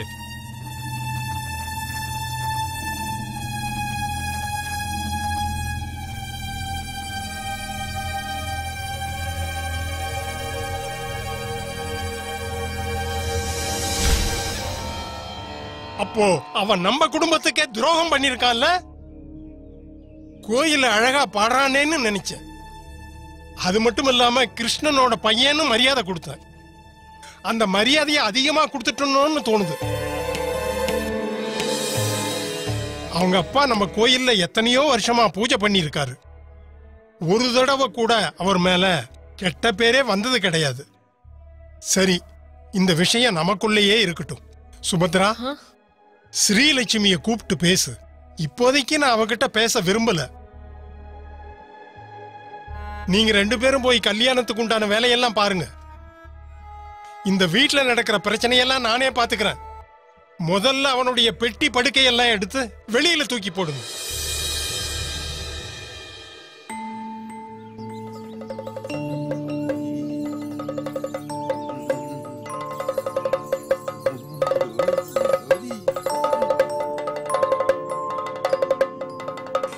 இந்தாங்க என்ன மாமா இது? வழக்கமா பத்ரி அண்ணன் தான் கத்தி எடுத்துட்டு போவாங்க. நீங்க இவர்கிட்ட கொடுக்குறீங்க? அது எப்படி பத்ரிக்கு பதிலா நீங்க இன்னொருத்தர்கிட்ட இதை கொடுக்கலாம்? இதுல நான் சொல்றதுக்கு ஒண்ணும் இல்ல. இந்த சின்ன விஷயத்தெல்லாம் தயவு செஞ்சு பெருசுபடுத்தாதீங்க மாமா செய்யறது எனக்கு ஒன்றும் புரியல. நீயாவது என்னன்னு கேளுனே பாரம்பரியமா செய்யறதை விட்டுட்டு யார் யார்கிட்டயோ கத்தியை கொடுக்குறாரு. இவர் எதுக்காக செய்யறாரு என்ன செய்யறாருன்னு ஒன்றும் விளங்க மாட்டேங்குது. ஆ, நீங்க கிளம்புங்க.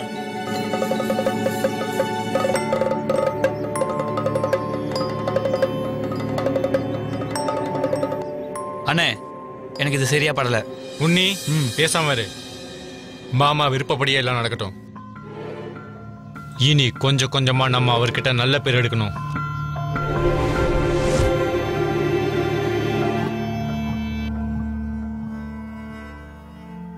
என்ன இன்னும் சமைச்சிட்டு இருக்க? காலையில பத்து மணி ஆகுது. கேசவன் வந்தா கத்த ஆரம்பிச்சிருவான்.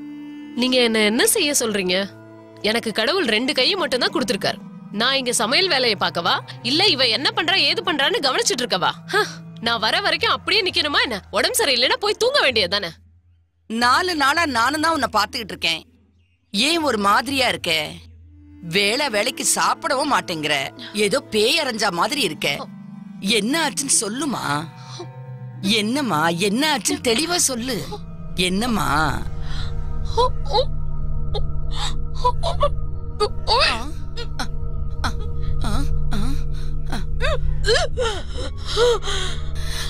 என்ன?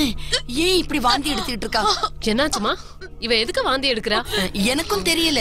இரு என்னன்னு கேக்கலாம் என்னடி ஆச்சு? அவளுக்கு என்ன நடந்துச்சுன்னு தெரியலையே. ஈஸ்வரா.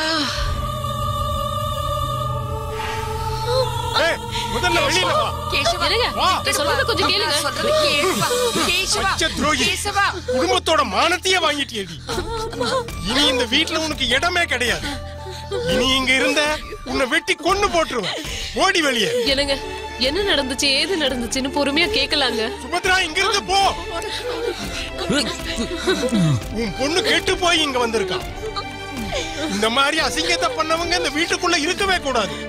அது மட்டும் இல்ல இந்த ஊர்ல எனக்குன்னு ஒரு கௌரவம் இருக்கு. நமக்கு இன்னும் ரெண்டு பொண்ணுங்க இருக்காங்க. அவங்க நிலைமைய கொஞ்சம் யோசிச்சு பாரு சுபத்ரா. அக்கா இப்படிப்பட்டவளா இருந்தா கூட பிறந்தவங்களுக்கு யார் மாப்பிள்ளை கொடுப்பாங்க?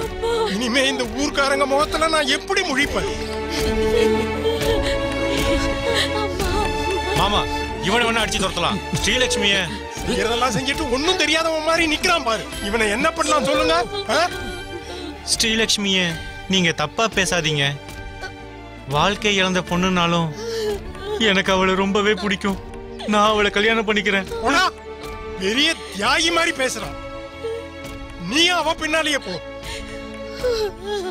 இனிமே அவளை பத்தி யாராவது பேசுனீங்க? நீங்களும் அவளோட போயிட்டே இருங்க. கொஞ்சம் பொறுமையா இருங்க ஈசவா.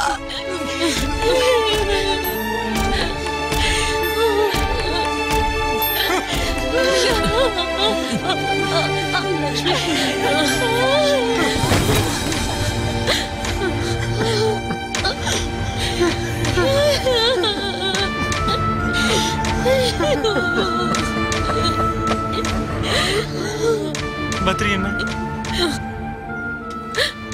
ஸ்ரீலட்சுமிய நான் எங்கேயாவது கூட்டிட்டு போயிடவா? டேய் அவளை போவிடுறா. உனக்கு அவளாம் வேண்டாம். நாங்க செஞ்ச புண்ணியம்தான். கல்யாணத்துக்கு முன்னாடியே அவளை பத்தி எங்களுக்கு தெரிஞ்சிருச்சு. இல்லைண்ணே. அவ அந்த மாதிரி கெட்ட பொண்ணே இல்ல. ஸ்ரீலக்ஷ்மி எனக்கு கல்யாணம் பண்ணி வைக்கிறேன்னு நீங்க தானே என்கிட்ட சொன்னீங்க? நான் சொன்னா எல்லாத்தையும் நம்பிடுவியா? அப்ப போய் சொன்னீங்களா? நான் எவ்வளவு உங்களுக்கு விசுவாசமா இருந்தேன். எல்லாரும் உங்களை நம்ப கூடாதுன்னு என்கிட்ட சொன்னப்ப கூட நான் உங்களை நம்பினேன்ல. என்ன நீங்க கடைசியில ஏமாத்திட்டீங்கல்ல? உங்களை பத்தி இந்த ஊர்ல எல்லார்கிட்டயும் சொல்லுவேன். இங்க நின்னு பணமாமேங்கிறது போடா. முனி எங்களுக்கு எதிரா ஏதாவது பேசுன உன்னை துண்டு துண்டா வெட்டி போட்டுருவோம்.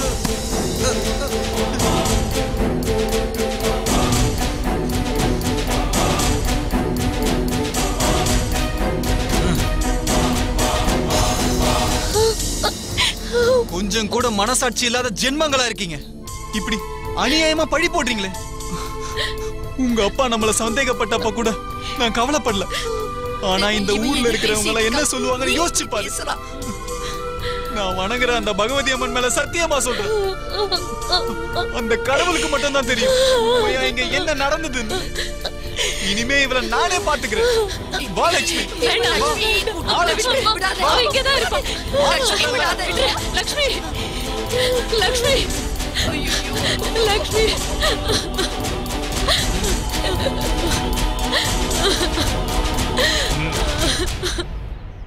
வானிலைப்படி வெள்ள அபாயம் உண்டு. முடிஞ்சு போச்சா? கொஞ்ச நாளுக்கு வெளியூருக்கு போலான்னு முடிவு எடுத்திருக்கேன் ரொம்ப நல்ல முடிவு. நாட்டுக்கும் வீட்டுக்கும் ரொம்ப நல்லது. சரி எந்த ஊருக்கு போலான் இருக்க கேரளாவுக்கு. அங்க உனக்கு தெரிஞ்சவங்க யாராவது இருக்காங்களா என்ன? நம்ம ஊருக்காரங்க நிறைய பேர் அங்க வேலை செஞ்சுக்கிட்டு தான் இருக்காங்க. நம்ம ஊர் பக்கம் நதி ஓடுதே. நமக்கும் அங்க சொந்தக்காரங்களும் நிறைய பேர் இருக்காங்க. அதனாலதான் போறேன். அததான் நல்லதுன்னு சொன்னேன். யாராவது இறங்கணுமா? வாங்க வாங்க சீக்கிரமா வந்து இறங்குங்க.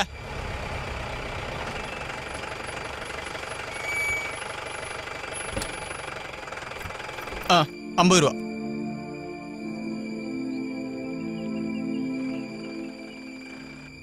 போட்டோம் போட்டோம் வாசண்ண அது நம்ம மிருது மாதிரி இருக்குல்ல? ஆமா அவன்டா. கூட ஒரு பொண்ணு வேற வந்திருக்க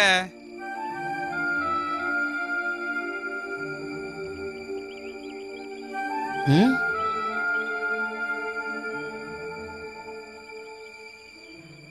சொன்ன உடனே கிளம்பிட்டாரு பாத்தியா? நம்மள யாராவது பார்த்தா நாலு விதமா பேசுவாங்க. இந்த நிலைமையில நாம யாருக்கும் எதையும் தெளிவா சொல்ல முடியாது. வாசு மாமா எப்பவும் அங்க இருக்கிற டீ கடையில தான் எப்பவும் டீ குடிக்க வருவாரு. இங்க ஏதாவது தெரிஞ்சதுன்னா அதை ஊதி பெருசாக்கிடுவாங்க. இந்த ஊர்க்காரங்க அப்படி நான் அவன் கிட்ட போய் என்ன ஏதுன்னு விசாரிச்சுட்டு வரேன். டே மிருது! பாத்தியா? பிரச்சனை வந்துருச்சு. நான் சொன்னல வா போலாம். என்னடா இப்பதான் ஊருக்கு வரியா? யாரா அந்த பொண்ணு? ஆ? பார்த்தா கல்யாணமான பொண்ணு மாதிரி தெரியுது. வா போலாம். ஆ? என்ன பதிலே சொல்லாம போறான்? ஹம். மிருதுராம் திரிகோணமலை பாலக்காடு. அட்ரஸ் கரெக்ட் அப்பா என்னம்மா? மார்க்கெட் வரைக்கும் போயிட்டு வரேன். அவரு போய் ரொம்ப நாள் ஆயிடுச்சு. அதனால லெட்டர் போடலான்னு போறேன். ஊருக்கு போறதுக்கு முன்னாடி அவர்கிட்ட அட்ரஸையும் வாங்கிட்டேன். அவர்கிட்ட பேசாம எனக்கு பொழுதே போக மாட்டேங்குதுப்பா. நீங்க வந்ததுக்கு அப்புறம் போலன்னு தான் வெயிட் பண்ணிட்டு இருந்தேன். போயிட்டு சீக்கிரம் வந்துடுறேன்.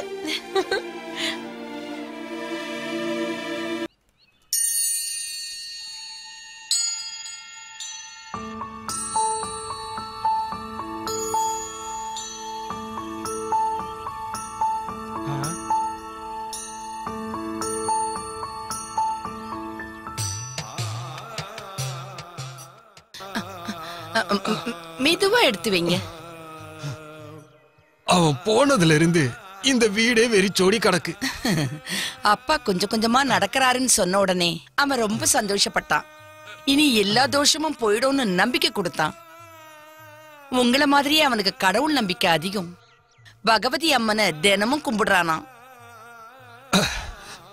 அவனை நினைக்கும் போது கொஞ்சம் கஷ்டமா இருக்கு.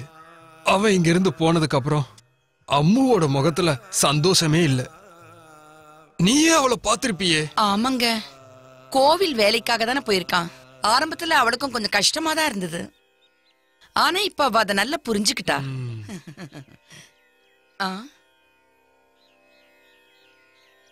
அடடே வந்துட்டான் போல இருக்கு. அங்க பாருங்க. ஆ?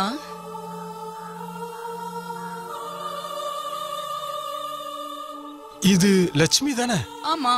ஆமாப்பா. என்ன நீங்க ரெண்டு பேரும் சேர்ந்து வந்திருக்கீங்க? எதுவும் சொல்லாம கொள்ளாம வந்திருக்கீங்க? யார் வீட்டுக்கோ வந்த மாதிரி வாசல்லயே நின்னுட்டு இருக்க உள்ள வாமா நில்லு. இவன் அந்த பொண்ணை கல்யாணம் பண்ணிக்கிட்டானா? என்ன? இவன் யாருன்னு எனக்கு இப்பதான் புரிஞ்சுது. அம்மு தேவையில்லாம அவசரப்பட்டு நீ எமோஷன் ஆகாத. உன்கிட்ட தனியா நான் நிறைய பேச வேண்டியது இருக்கு. இப்போ இந்த நேரத்துல தயவு செஞ்சு என்ன தொந்தரவு பண்ணாத. யாரு? நானும் உன்னை தொந்தரவு பண்றேன். நீதான் என் வாழ்க்கைன்னு நான் நினைச்சேன். அம்மு கொஞ்சம் பொறுமையாயிரு. நான் எல்லாத்தையும் விவரமா சொல்றேன். வேண்டாம். நீ ஒண்ணும் சொல்ல வேண்டாம். அதான் என்ன பண்ணிருக்கேன்னு பார்த்தாலே தெரியுது. இனிமே என்ன பார்க்கவே வராது. அம்மு. கைய விடு. என்ன நம்ப வச்சு கழுத்தறுத்துட்டியே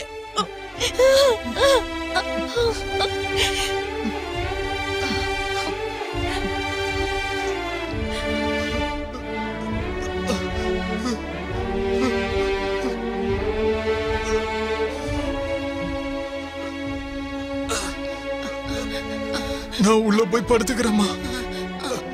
அப்பா நான் சொல்றத கொஞ்சம் கேளுங்கப்பா.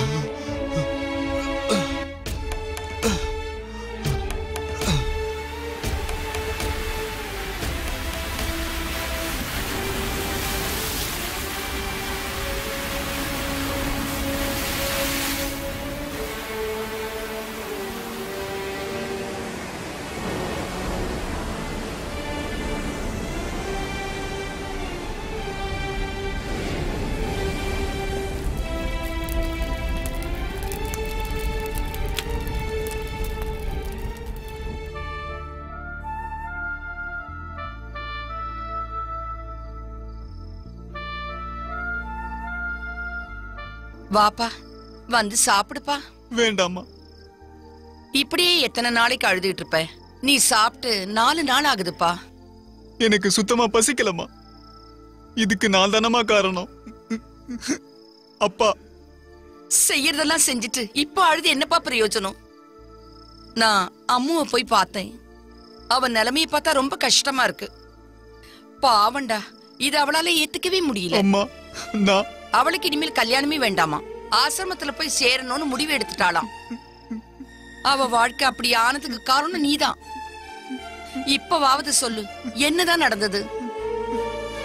நான் எதுவும் சொல்ல விரும்பலம்மா. நான் என்ன சொன்னாலும் நீங்க என்ன நம்ப போறதில்ல.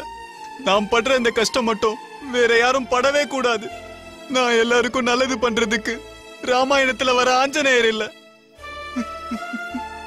நீ யார கல்யாணம் பண்ணிக்கிட்டாலும் வர்ற பொண்ணு ஏன் பொண்ணு மாதிரிதான். எனக்கு அதுல நம்பிக்கை இருக்குமா? நான் கும்பிடுற அந்த பகவதி அம்மன் என்னை கைவிட மாட்டாங்கம்மா.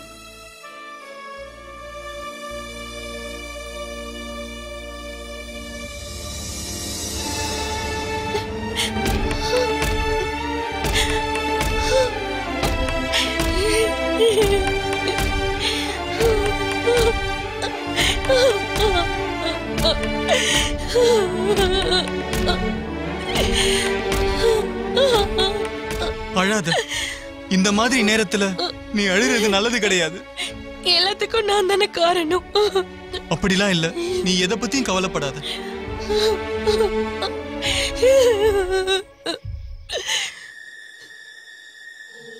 நான் எதுவும் சொல்ல விரும்பலம்மா. நான் என்ன சொன்னாலும் நீங்க என்ன நம்ப போறதில்ல. நான் படுற இந்த கஷ்டம் மட்டும் வேற யாரும் படவே கூடாது. நான் எல்லாருக்கும் நல்லது பண்றதுக்கு ராமாயணத்துல வர ஆஞ்சநேயர் இல்ல.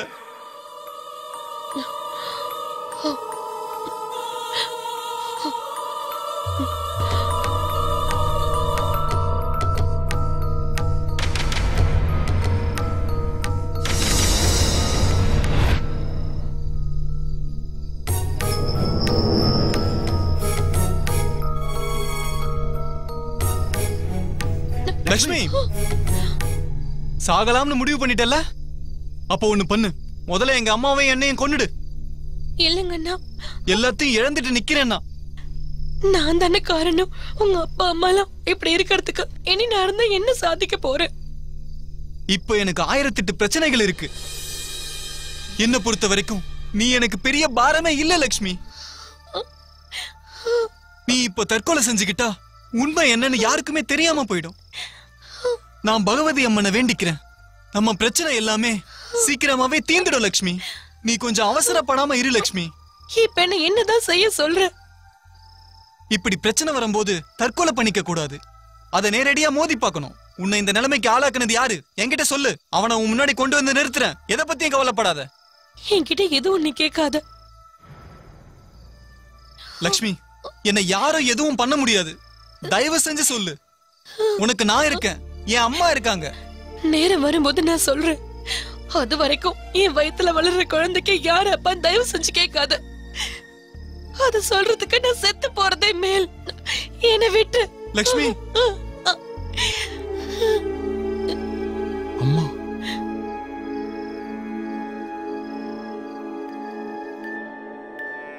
இந்த டாக்குமெண்ட்ஸ் படி பார்த்தா அஞ்சு ஏக்கர் எழுபது சென்ட் இருக்கு. அதை நீங்க ரெண்டா பிரிச்சிருங்க. அத ரெண்டு பொண்ணுக்கும் பிரிச்சு கொடுத்துறேன் சரிங்க. பெரிய பொண்ணு அப்படியே போய் தொலைஞ்சிட்டா. இனி அவ திரும்பி வந்தாலும் எதுவும் கொடுக்கறதா இல்ல. அவ திரும்பி வரவும் மாட்டா. அதனாலதான் உங்களை வர சொன்னேன். இந்த டாக்குமெண்ட்ஸ் விஷயத்தெல்லாம் நான் பாத்துக்கிறேன். ஆ. மத்தபடி நீங்க எதை பத்தியும் கவலைப்படாம இருங்க நான் பாத்துக்கிறேன். அப்ப நான் கிளம்புறையா? சரி. நீங்க வக்கீலோட பேசிட்டு இருந்ததுல நான் கேட்டுட்டு தான் இருந்தேன். ஆ. நீங்க எதுக்காக அவசர அவசரமா சொத்தை பிரிக்கிறீங்க? நம்மளுக்கு அப்புறம் இந்த சொத்தெல்லாம் யார் அனுபவிக்கணும்? நம்ம குழந்தைங்க தானே. அதனாலதான் நம்ம ரெண்டு பொண்ணுங்க பேர்லயும் எழுத சொன்னேன். இந்த முடிவுல எனக்கு எந்த மாற்றமும் இல்ல. எனக்கும் வயசாகுது இல்ல இன்னும் எத்தனை நாள் உயிரோடு இருப்பேன்னு எனக்கே தெரியாது. அப்போ ஸ்ரீலக்ஷ்மிக்கு? அவ தான் செத்து போயிட்டால என்னைக்கு அப்படி ஒரு காரியத்தை செஞ்சாலோ அப்ப செத்துட்டான்னு தான் அர்த்தம். இந்த வீட்டை விட்டு வெளியில போய் ஒரு மாசம் ஆகுது. இனிமே நமக்கு ரெண்டு பொண்ணுங்க தான். அந்த ரெண்டு பொண்ணுங்களுக்காக மட்டும்தான் இனிமே மீதி வாழ்க்கையே நான் வாழ போறேன். இருந்தாலும் லக்ஷ்மி நம்ம பொண்ணுங்க. அவளை எப்படிங்க நம்ம மறக்க முடியும்? நான் மறந்தே போயிட்டேம்மா. அப்படிப்பட்ட பொண்ணு நமக்கு எதுக்கு? வேண்டாம். அடுத்த ஜென்மத்திலேயாவது இந்த மாதிரி ஒரு பாவத்தை பெத்தெடுக்காம இருக்கணும். பகவதி தாயே அவளை இத்தனை நாள் நான் பார்க்காம இருந்ததே இல்ல. அவளை ஒரே ஒரு முறை பார்க்கணும் போல இருக்கு எனக்கு.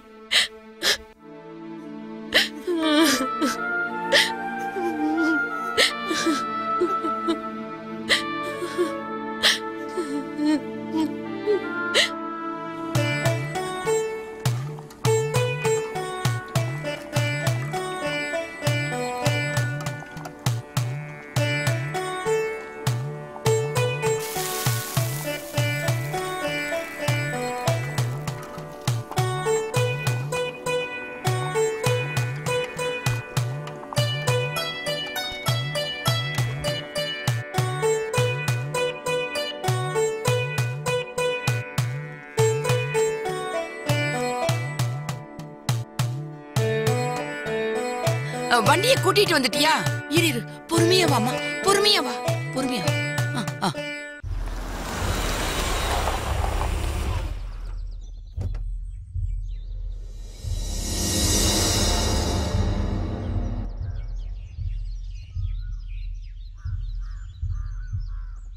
வணக்கம். வணக்கம் வணக்கம் சார். உள்ள வாங்க சார். உள்ள வாங்க சார். ஆ வாங்க. இந்த மாதிரி இடத்துல தான் எனக்கு ஒரு ரெசார்ட் கட்டணும்னு ரொம்ப நாளா ஆசை. என்னுடைய மத்த ப்ராஜெக்ட் மாதிரியே இதுவும் ரொம்ப வித்தியாசமான பியூர்லி வெஜிடேரியன் ஆயுர்வேதிக் சென்டரா இருக்கும்.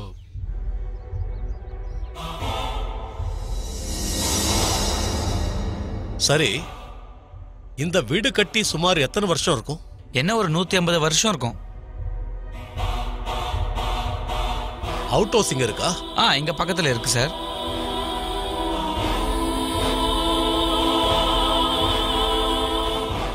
உன்னி கிருஷ்ணா இந்த வீட்டை நம்ம அவருக்கு வித்தாலும் அவருக்கு தேவையான உதவிகள்லாம் நம்ம செய்யணும். நல்லதா போச்சு. எனக்கு இந்த மாதிரி பழைய வீடுன்னா ரொம்பவே பிடிக்கும். சார் அப்போ அடுத்ததா என்ன பண்ணலாம்? நீங்க விலைய பத்திலாம் ரொம்ப யோசிக்க வேண்டாம். நீங்க சொன்ன மாதிரியே இருபது கோடியில முடிச்சிடுவோம். அட்வான்ஸா ரெண்டு கோடி தரேன். மீதி ரிஜிஸ்ட்ரேஷன் அப்ப தரேன். என்ன சொல்றீங்க? Okay sir. எங்களுக்கு சம்மதம் தான் எனக்கு உங்க சம்மதத்தை விட பெரியவருடைய சம்மதம் தான் எனக்கு முக்கியம். அவருங்க மன்னிக்கணும் சார். அவருக்கு இன்னைக்கு வர முடியல. அக்ரிமெண்ட் போடும்போது வந்துருவாரு. தம்பி வேற எதுவும் வில்லங்கெல்லாம் இல்லையா? சார் இல்ல சார். நீங்க தான் அவரோட போன்ல பேசுனீங்களே. Francis sir. இவர் தான் என் மேனேஜர் ஓ, வணக்கம் இந்த சார். ப்ராஜெக்டை பொறுத்த வரைக்கும் இவர் தான் டீல் பண்ணுவார். சரிங்க சார். சரி ஓகே நான் கிளம்புறேன். போகலாம் சார்.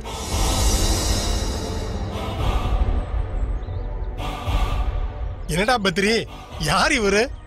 மாமா இவர் தான் ஜோன் தாமஸ். நம்ம வீட்டை வாங்கறதுக்காக வந்திருக்காரு. வீட்டை வாங்க வந்திருக்காரா? ஆனா ஆமா மாமா. நாங்க வீட்டை விற்க போறோம். வீட்டை விற்க போற விஷயத்த அன்னைக்கே எல்லார்கிட்டயும் சொல்லிட்டோமே. வீட்டை விற்க போறீங்களா?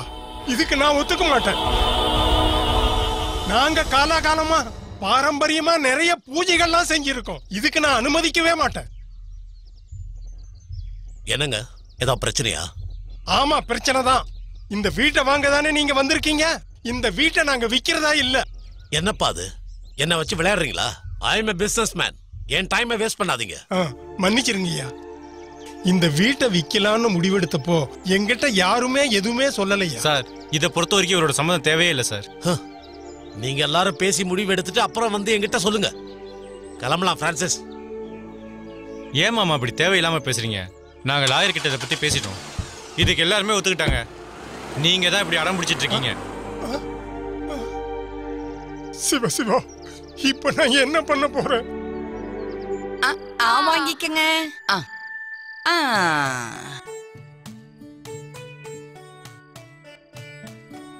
எனக்கு போதும் பாட்டி. ஆ அப்படி சொன்னா விட்டுருவேனா என்ன? வயிறு நிறைய சாப்பிட்டா தானே நீ பலசாலியா வளர முடியும்.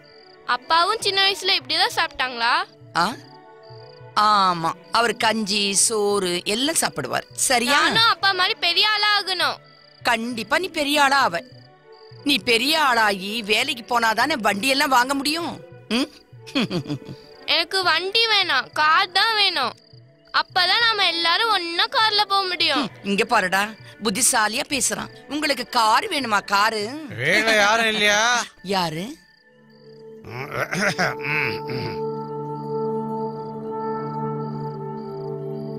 என்ன யாரையும் காணோம்? எல்லாரும் ஓடி விளைஞ்சிட்டீங்களா? யாரது? ஐயோ என்ன யாருன்னு உங்களுக்கு தெரியாது பாருங்க. என்ன வாசனை? என்ன ஆச்சு? நான் உன்னை பார்த்து பேசுறதுக்கு வரல. உன் பையன் கிட்ட எங்க உன் பையன் உத்தம புத்திரன் இப்பதான் பிசினஸ் செய்ய ஆரம்பிச்சுட்டாரு. பலகாரங்கள்லாம் செஞ்சு விற்க ஆரம்பிச்சுட்டாரு. பிசினஸ் பண்ணி ரொம்ப டயர்டா இருப்பாரு என்ன மாமா? இப்பவும் தரிசனம் கிடைச்சதே பெரிய விஷயம்பா. என் பொண்ணோட வாழ்க்கையே கெடுத்துட்டேடா. வாமா புண்ணியவதி தாயே வா. என் பொண்ணோட வாழ்க்கையில மண்ணள்ளி போட்டவள. என்னைக்காவது நீ திரும்பி வருவேங்கிற நம்பிக்கையில தான் இருந்த. ஆனா நீ திரும்பி வர மாதிரி தெரியல. இப்படியே போச்சு உன்னை நான் சும்மா விட மாட்டேன். அதுவும் நடக்கலன்னா என் பொண்ணை கொண்டு போட்டு நானும் தற்கொலை பண்ணிப்பேன். நல்லா இருக்க மாட்டேடா. என் பொண்ணு ரொம்ப நல்ல பொண்ணு அவ வாழ்க்கையே நாசமா போச்சு. லக்ஷ்மி இப்பவாவது நடந்தது என்னன்னு சொல்லுமா? இன்னும் எத்தனை நாளைக்கு எல்லாரும் கஷ்டப்படுறது? வேண்டாம்மா. அவகிட்ட அதை பத்தி எதுவும் கேட்காத?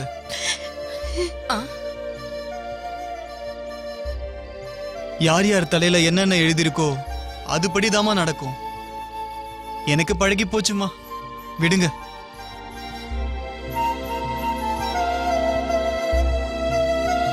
பகவதி தாயே. இங்க இந்த இடத்துல தான் அந்த ரெஸ்டாரண்ட் வரப்போகுது இல்லையா? ஆமா சார். அப்போ அந்த இடத்துல? சார் மார்க் பண்ண இந்த 600 மீட்டர்ல நம்ம ஹெர்பல் பிளான்டேஷன் இருக்கும் சார் ஆ. இந்த இடத்த தோண்டி எடுத்துட்டு ஒரு நீச்சல் குளத்தை உருவாக்கணும். இந்த இடத்துல சேர்ஸ் எல்லாம் போட்டு சன்பாத் எடுக்கிற மாதிரி இருக்கணும். ம். கிச்சனை ஹோட்டல் பின்னாடி வச்சிருங்க. மேற்கு பக்கம் பார்த்து சேர் எல்லாம் போட்டுருங்க. சரிங்க சார் ஆமா இந்த இடத்துல என்ன மார்க் பண்ணிருக்க பிரான்சிஸ் உங்ககிட்ட பேசிட்டு முடிவெடுக்கலாம்னு நினைச்சேன். இந்த இடம் கொஞ்சம் பெருசா இருக்கிறதுனால ஒரு மாடர்ன் ஜிம் போட்டா நல்லா இருக்கும் சார் ம். அப்புறம் ஒரு சின்ன மினி பாரும் ரெடி பண்ணிடலாம் நம்ம கஸ்டமர்ஸ் எல்லாம் ஃபாரின்ல இருந்து தானே வர்றாங்க? உனக்கு யார் சொன்னாங்க பிரான்சிஸ் ஃபாரினர்ஸ் இங்க வரதுக்கு காரணம் ஜிம்முக்கும் பாருக்கும்னு? ஆ? அதெல்லாம் அவங்க நாட்டிலே அதிகமா கிடைக்கும். அவங்க இங்க வர்றது இயற்கை சூழ்நிலையில வாழணுன்றதுக்காக. I am sorry sir it's okay அப்புறம் நாம இந்த வீட்டை இடிக்கவே கூடாது. இங்க இருக்கிற ஒரு செங்கலை கூட நீங்க டேமேஜ் பண்ணவே கூடாது. நீங்க நினைக்கிற மாதிரி இது ஒரு கல்லு மண்ணுல கட்டின வீடு இல்ல. இந்த வீட்டுக்கு பயங்கரமான சக்தி இருக்கு. இது நம்மளுடைய பாரம்பரியம். இதை நம்ம பாதுகாப்பா வச்சாதான் அடுத்த ஜெனரேஷனுக்கு இது பிரயோஜனமா இருக்கும். மன்னிச்சிருங்க சார். நீங்க சொன்ன மாதிரியே மாத்திடுறேன். மாத்தணும். இன்னும் ரெண்டு நாளைக்குள்ள எனக்கு புது டிசைனை மாத்தி கொடுங்க. Okay sir. ஆ ஆ,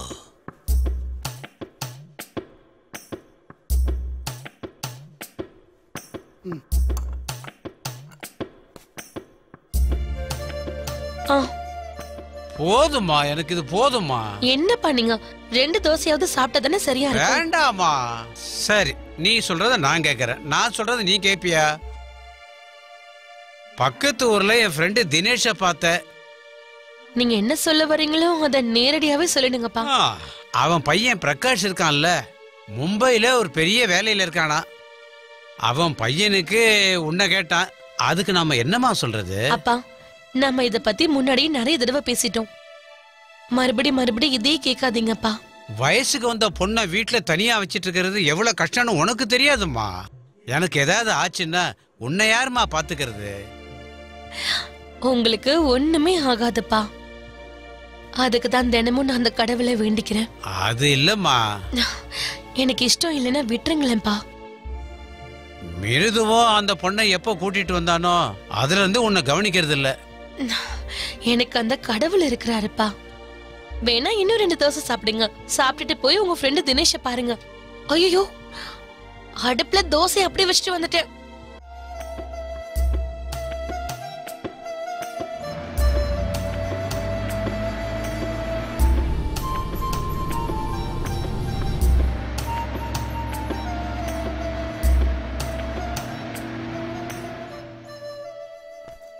பத்ரி பத்ரி வாடா. யாரா யாரா லக்ஷ்மி முதல்ல. உனக்கு என்ன பைத்தியமா? லக்ஷ்மி நீ ஒன்னாந்ததை பார்த்து சொன்னது கிரிதான். உண்மை என்னன்னு தெரியாம அவன் வந்து உளர்னத நீ உனக்கு சாதகமா பயன்படுத்திக்கிட்ட. நீ இந்த வீட்டை சொந்தமாக்கணும்னு நினைச்சு நடத்தின நாடகத்துல எங்க ரெண்டு பேருக்கு தாண்டா பெரிய நஷ்டம். வீடை எனக்கு சொந்தமாக்கிக்கணும்னு நினைச்சது உண்மைதான். அதுக்காக தான் உன்னி கிருஷ்ணனுக்கும் லக்ஷ்மிக்கும் கல்யாணம் பண்ணி வைக்கணும்னு முடிவு பண்ணேன். ஆனா உங்க ரெண்டு பேருக்குள்ள இப்படி ஒரு கள்ள உறவு இருக்கும்போது அவனுக்கு எப்படி நான் கல்யாணம் பண்ணி வைக்க முடியும்? நீ சொல்ற விஷயத்துக்கும் எனக்கு எந்த சம்மதமும் கிடையாது. சத்தியமா தான் நான் உங்ககிட்ட சொல்றேன். நான் சொன்னதை நம்புனா நம்பு இல்லாட்டி போ.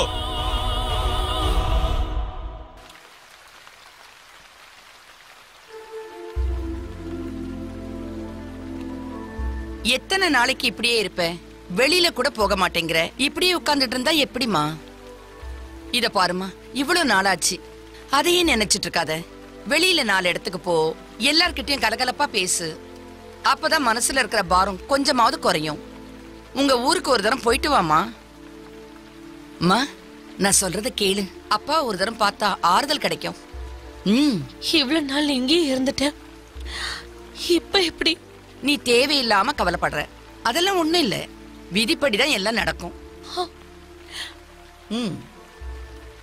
போமா அப்பாவை போய் பாருமா. காலந்தாமா பெரிய மருந்து. எல்லாத்தையும் மறந்துருப்பாருமா. போறேம்மா. ஒரு நாளாவது எங்க அப்பாவை பார்க்க போறேன். ஒரு நாள் என்ன? நாளைக்கே நல்ல நாள் தான் நாளைக்கு அப்பாவை பார்க்க அந்த சுவாமி வேற வர்றாராம்.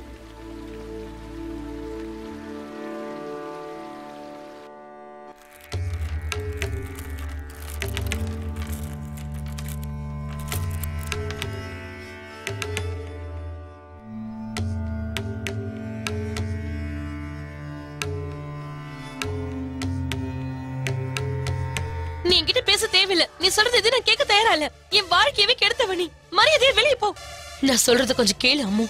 சரியான சமயத்துக்காக தான் நான் இத்தனை நாளா காத்துக்கிட்டு இருந்தேன். அது ஓன் தப்பு. எனக்கு இதுக்கு எந்த சம்பந்தமும் இல்ல.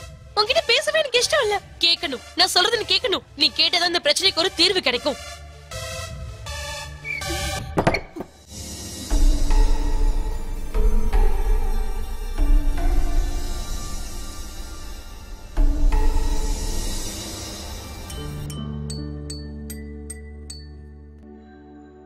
டேய். என்ன நீ விளையாடிட்டு இருக்கியா? இந்தா உனக்கு பிடிச்ச சாக்லேட் வாங்கிக்கோ வாங்கிக்கோ. அம்மா அம்மா எங்க? தாத்தா வீட்டுக்கு போயிருக்காங்க. சும்மா பொய் சொல்லாதடா. அம்மா அங்கெல்லாம் போகவே மாட்டாங்க. நிஜமா அம்மா அங்கதான் போயிருக்காங்க. அம்மா. என்னப்பா? என்னம்மா சொல்றான் இவன்? லக்ஷ்மி அவங்க அப்பாவை பார்க்க போயிருக்காளா? ஆமாப்பா. என்ன தோணுச்சோ? நான் சொன்ன உடனே கிளம்பிட்டா.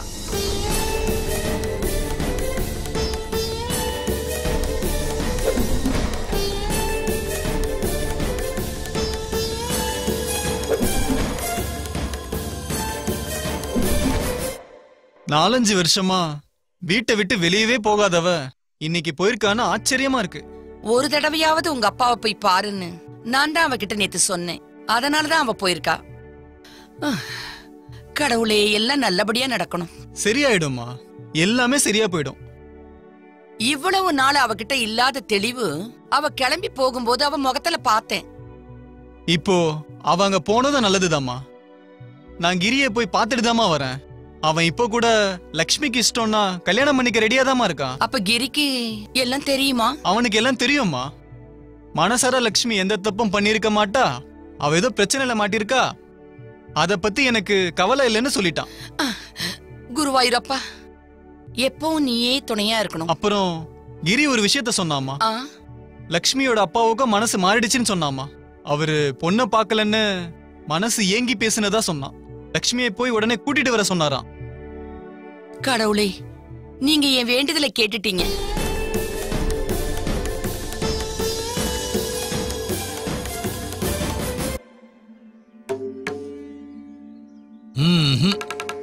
இன்னும் அந்த ராகு திருஷ்டி உங்களை விட்டு விலகவே இல்லை. கோவில் பூஜைகளை பண்ணாம நீங்க வேற ஏதோதோ பண்ணிருக்கீங்கன்னு நினைக்கிறேன். பெரிய தெய்வ குத்தம் ஆயிருக்கு. அதான் இந்த பிரச்சனைகளுக்கெல்லாம் காரணம். இது இந்த கோயில் தர்மகத்தாவை மட்டும் இல்ல இந்த ஊர்ல இருக்கிற எல்லாரையும் பாதிக்கும். மிருது ஆ? என்ன மன்னிச்சிடு. ஸ்ரீலக்ஷ்மி அக்கா எல்லா உண்மையும் சொல்லிட்டாங்க. நான் உன்னை ரொம்ப கஷ்டப்படுத்திட்டேன். அதெல்லாம் ஒண்ணும் இல்ல. எனக்கு எல்லாம் தெரியும். என்னைக்காவது ஒரு நாள் உனக்கும் உண்மை புரியும்னு. நான் மட்டும் கொஞ்சம் பொறுமையா இருந்திருந்தா இந்த பிரச்சனையும் வந்திருக்காது. கவலைப்படாதம்மா. உன் மேல எந்த தப்பும் இல்ல. கடவுளே இதெல்லாம் பார்க்கறதுக்கு அவர் உயிரோடு இல்லாம போயிட்டாரே. லக்ஷ்மி அக்கா எங்க? நான் உங்களை பார்க்கணும்.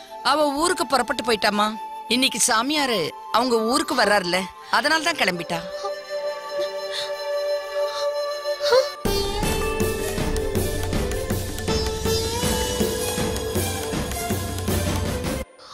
அக்கா அக்கா அங்க போயிருக்காங்கன்னா என் கூட சீக்கிரம் வாங்க.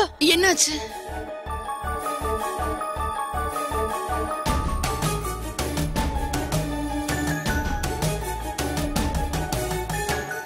சர்பதோஷங்கள் விலகணும்னா நான் சொல்ற மாதிரி நாலு பூஜைகளை பண்ணணும்.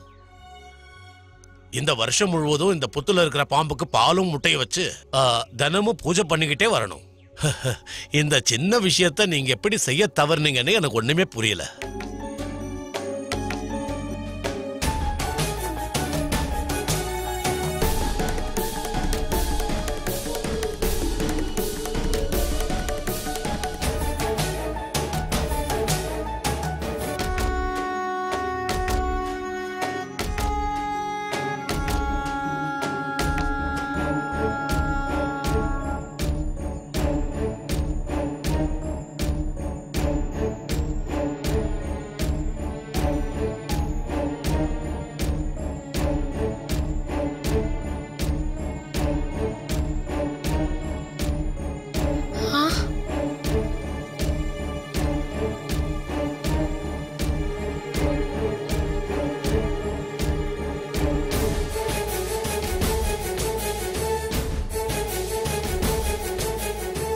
ஜோலி போட்டு பார்த்ததுல எந்த பிரச்சனை இருக்கிறதா தெரியல.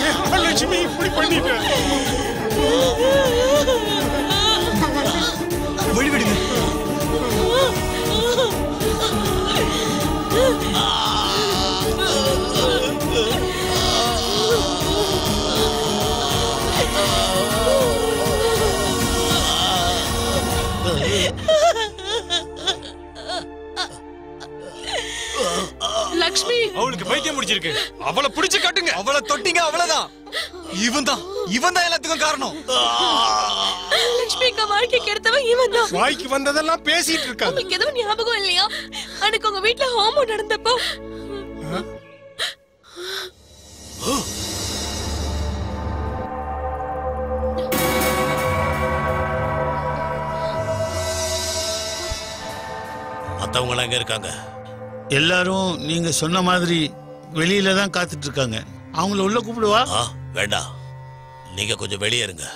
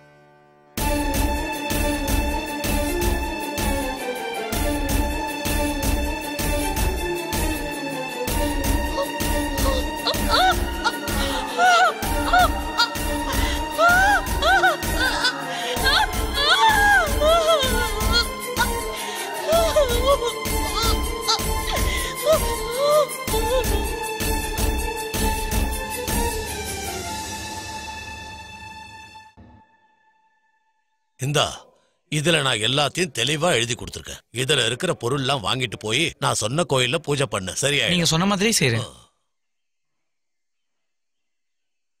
அடுத்தது யாரு? உள்ள வாங்க.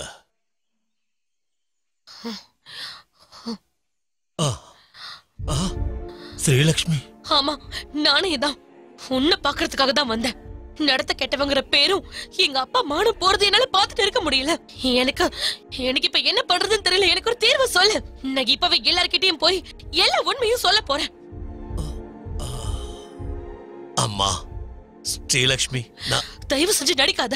நீ கடவுள் மேல பக்தியோட இருக்கன்னு தான் நான் இது வரைக்கும் உன்னை நம்பினேன். பாவம் என்னோட அப்பா. அவருக்கு ஒண்ணும் தெரியாது. அவர் அழுத தலை கொன்னீரத்துக்கு இன்னைக்கு நானே காரணமாயிட்டேன். இருந்தாலும் நான் உன்னோட பேரை சொல்லல. ஆனா இதுக்கு மேல சொல்லாம இருக்க முடியாது. நான் சொல்லியே ஆகணும். அதுவும் நீயே வந்து உன் வாயால சொல்லி ஆகணும். நடந்தது நடந்து போச்சு. நம்ம குழந்தைய மிருதுவோட குழந்தைதான் இந்த ஊரே ஒத்துக்கிட்டாங்கல்ல. அப்புறம் இதுல என்ன பிரச்சனை இருக்கு? ஏன் தண்டனையில இருந்து தப்பிக்கணுமா? இல்ல நான் உன்னை சும்மா விட மாட்டேன். சீ வாய மூடுறி. நான் யாரு என் பரம்பரை என்னன்னு உனக்கு தெரியுமா? இந்த ஊர்ல பூஜை புனஸ்காரம் பண்றதுக்கு என்ன விட்டா ஆளே கிடையாது. எல்லாரும் உன் தோஷத்தால கஷ்டப்படணுமா சொல்லு. கொன்னு போட்டுருவேன். ஒண்ணு இல்ல. உங்க அப்பனி ஆத்தாலையும் தான். நான் ஒரு சொடக்கு போட்டா போதும். உங்க அப்பா ஆத்தா மட்டும் இல்ல இந்த ஊரே வந்து என் முன்னாடி நிக்க தெரியுமா? கொன்னு போட்டு வண்டி உன்ன. கொன்னுடு வண்டி உன்ன. மரியாதையா இங்க இருந்து போயிடு. போ.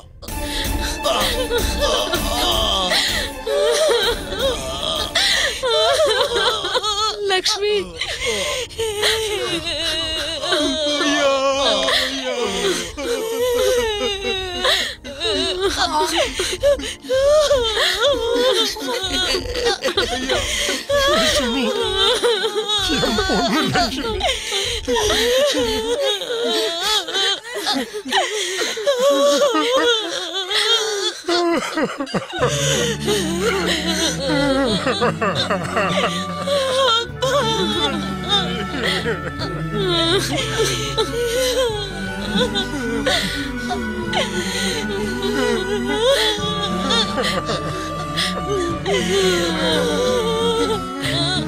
아빠. 매춤이.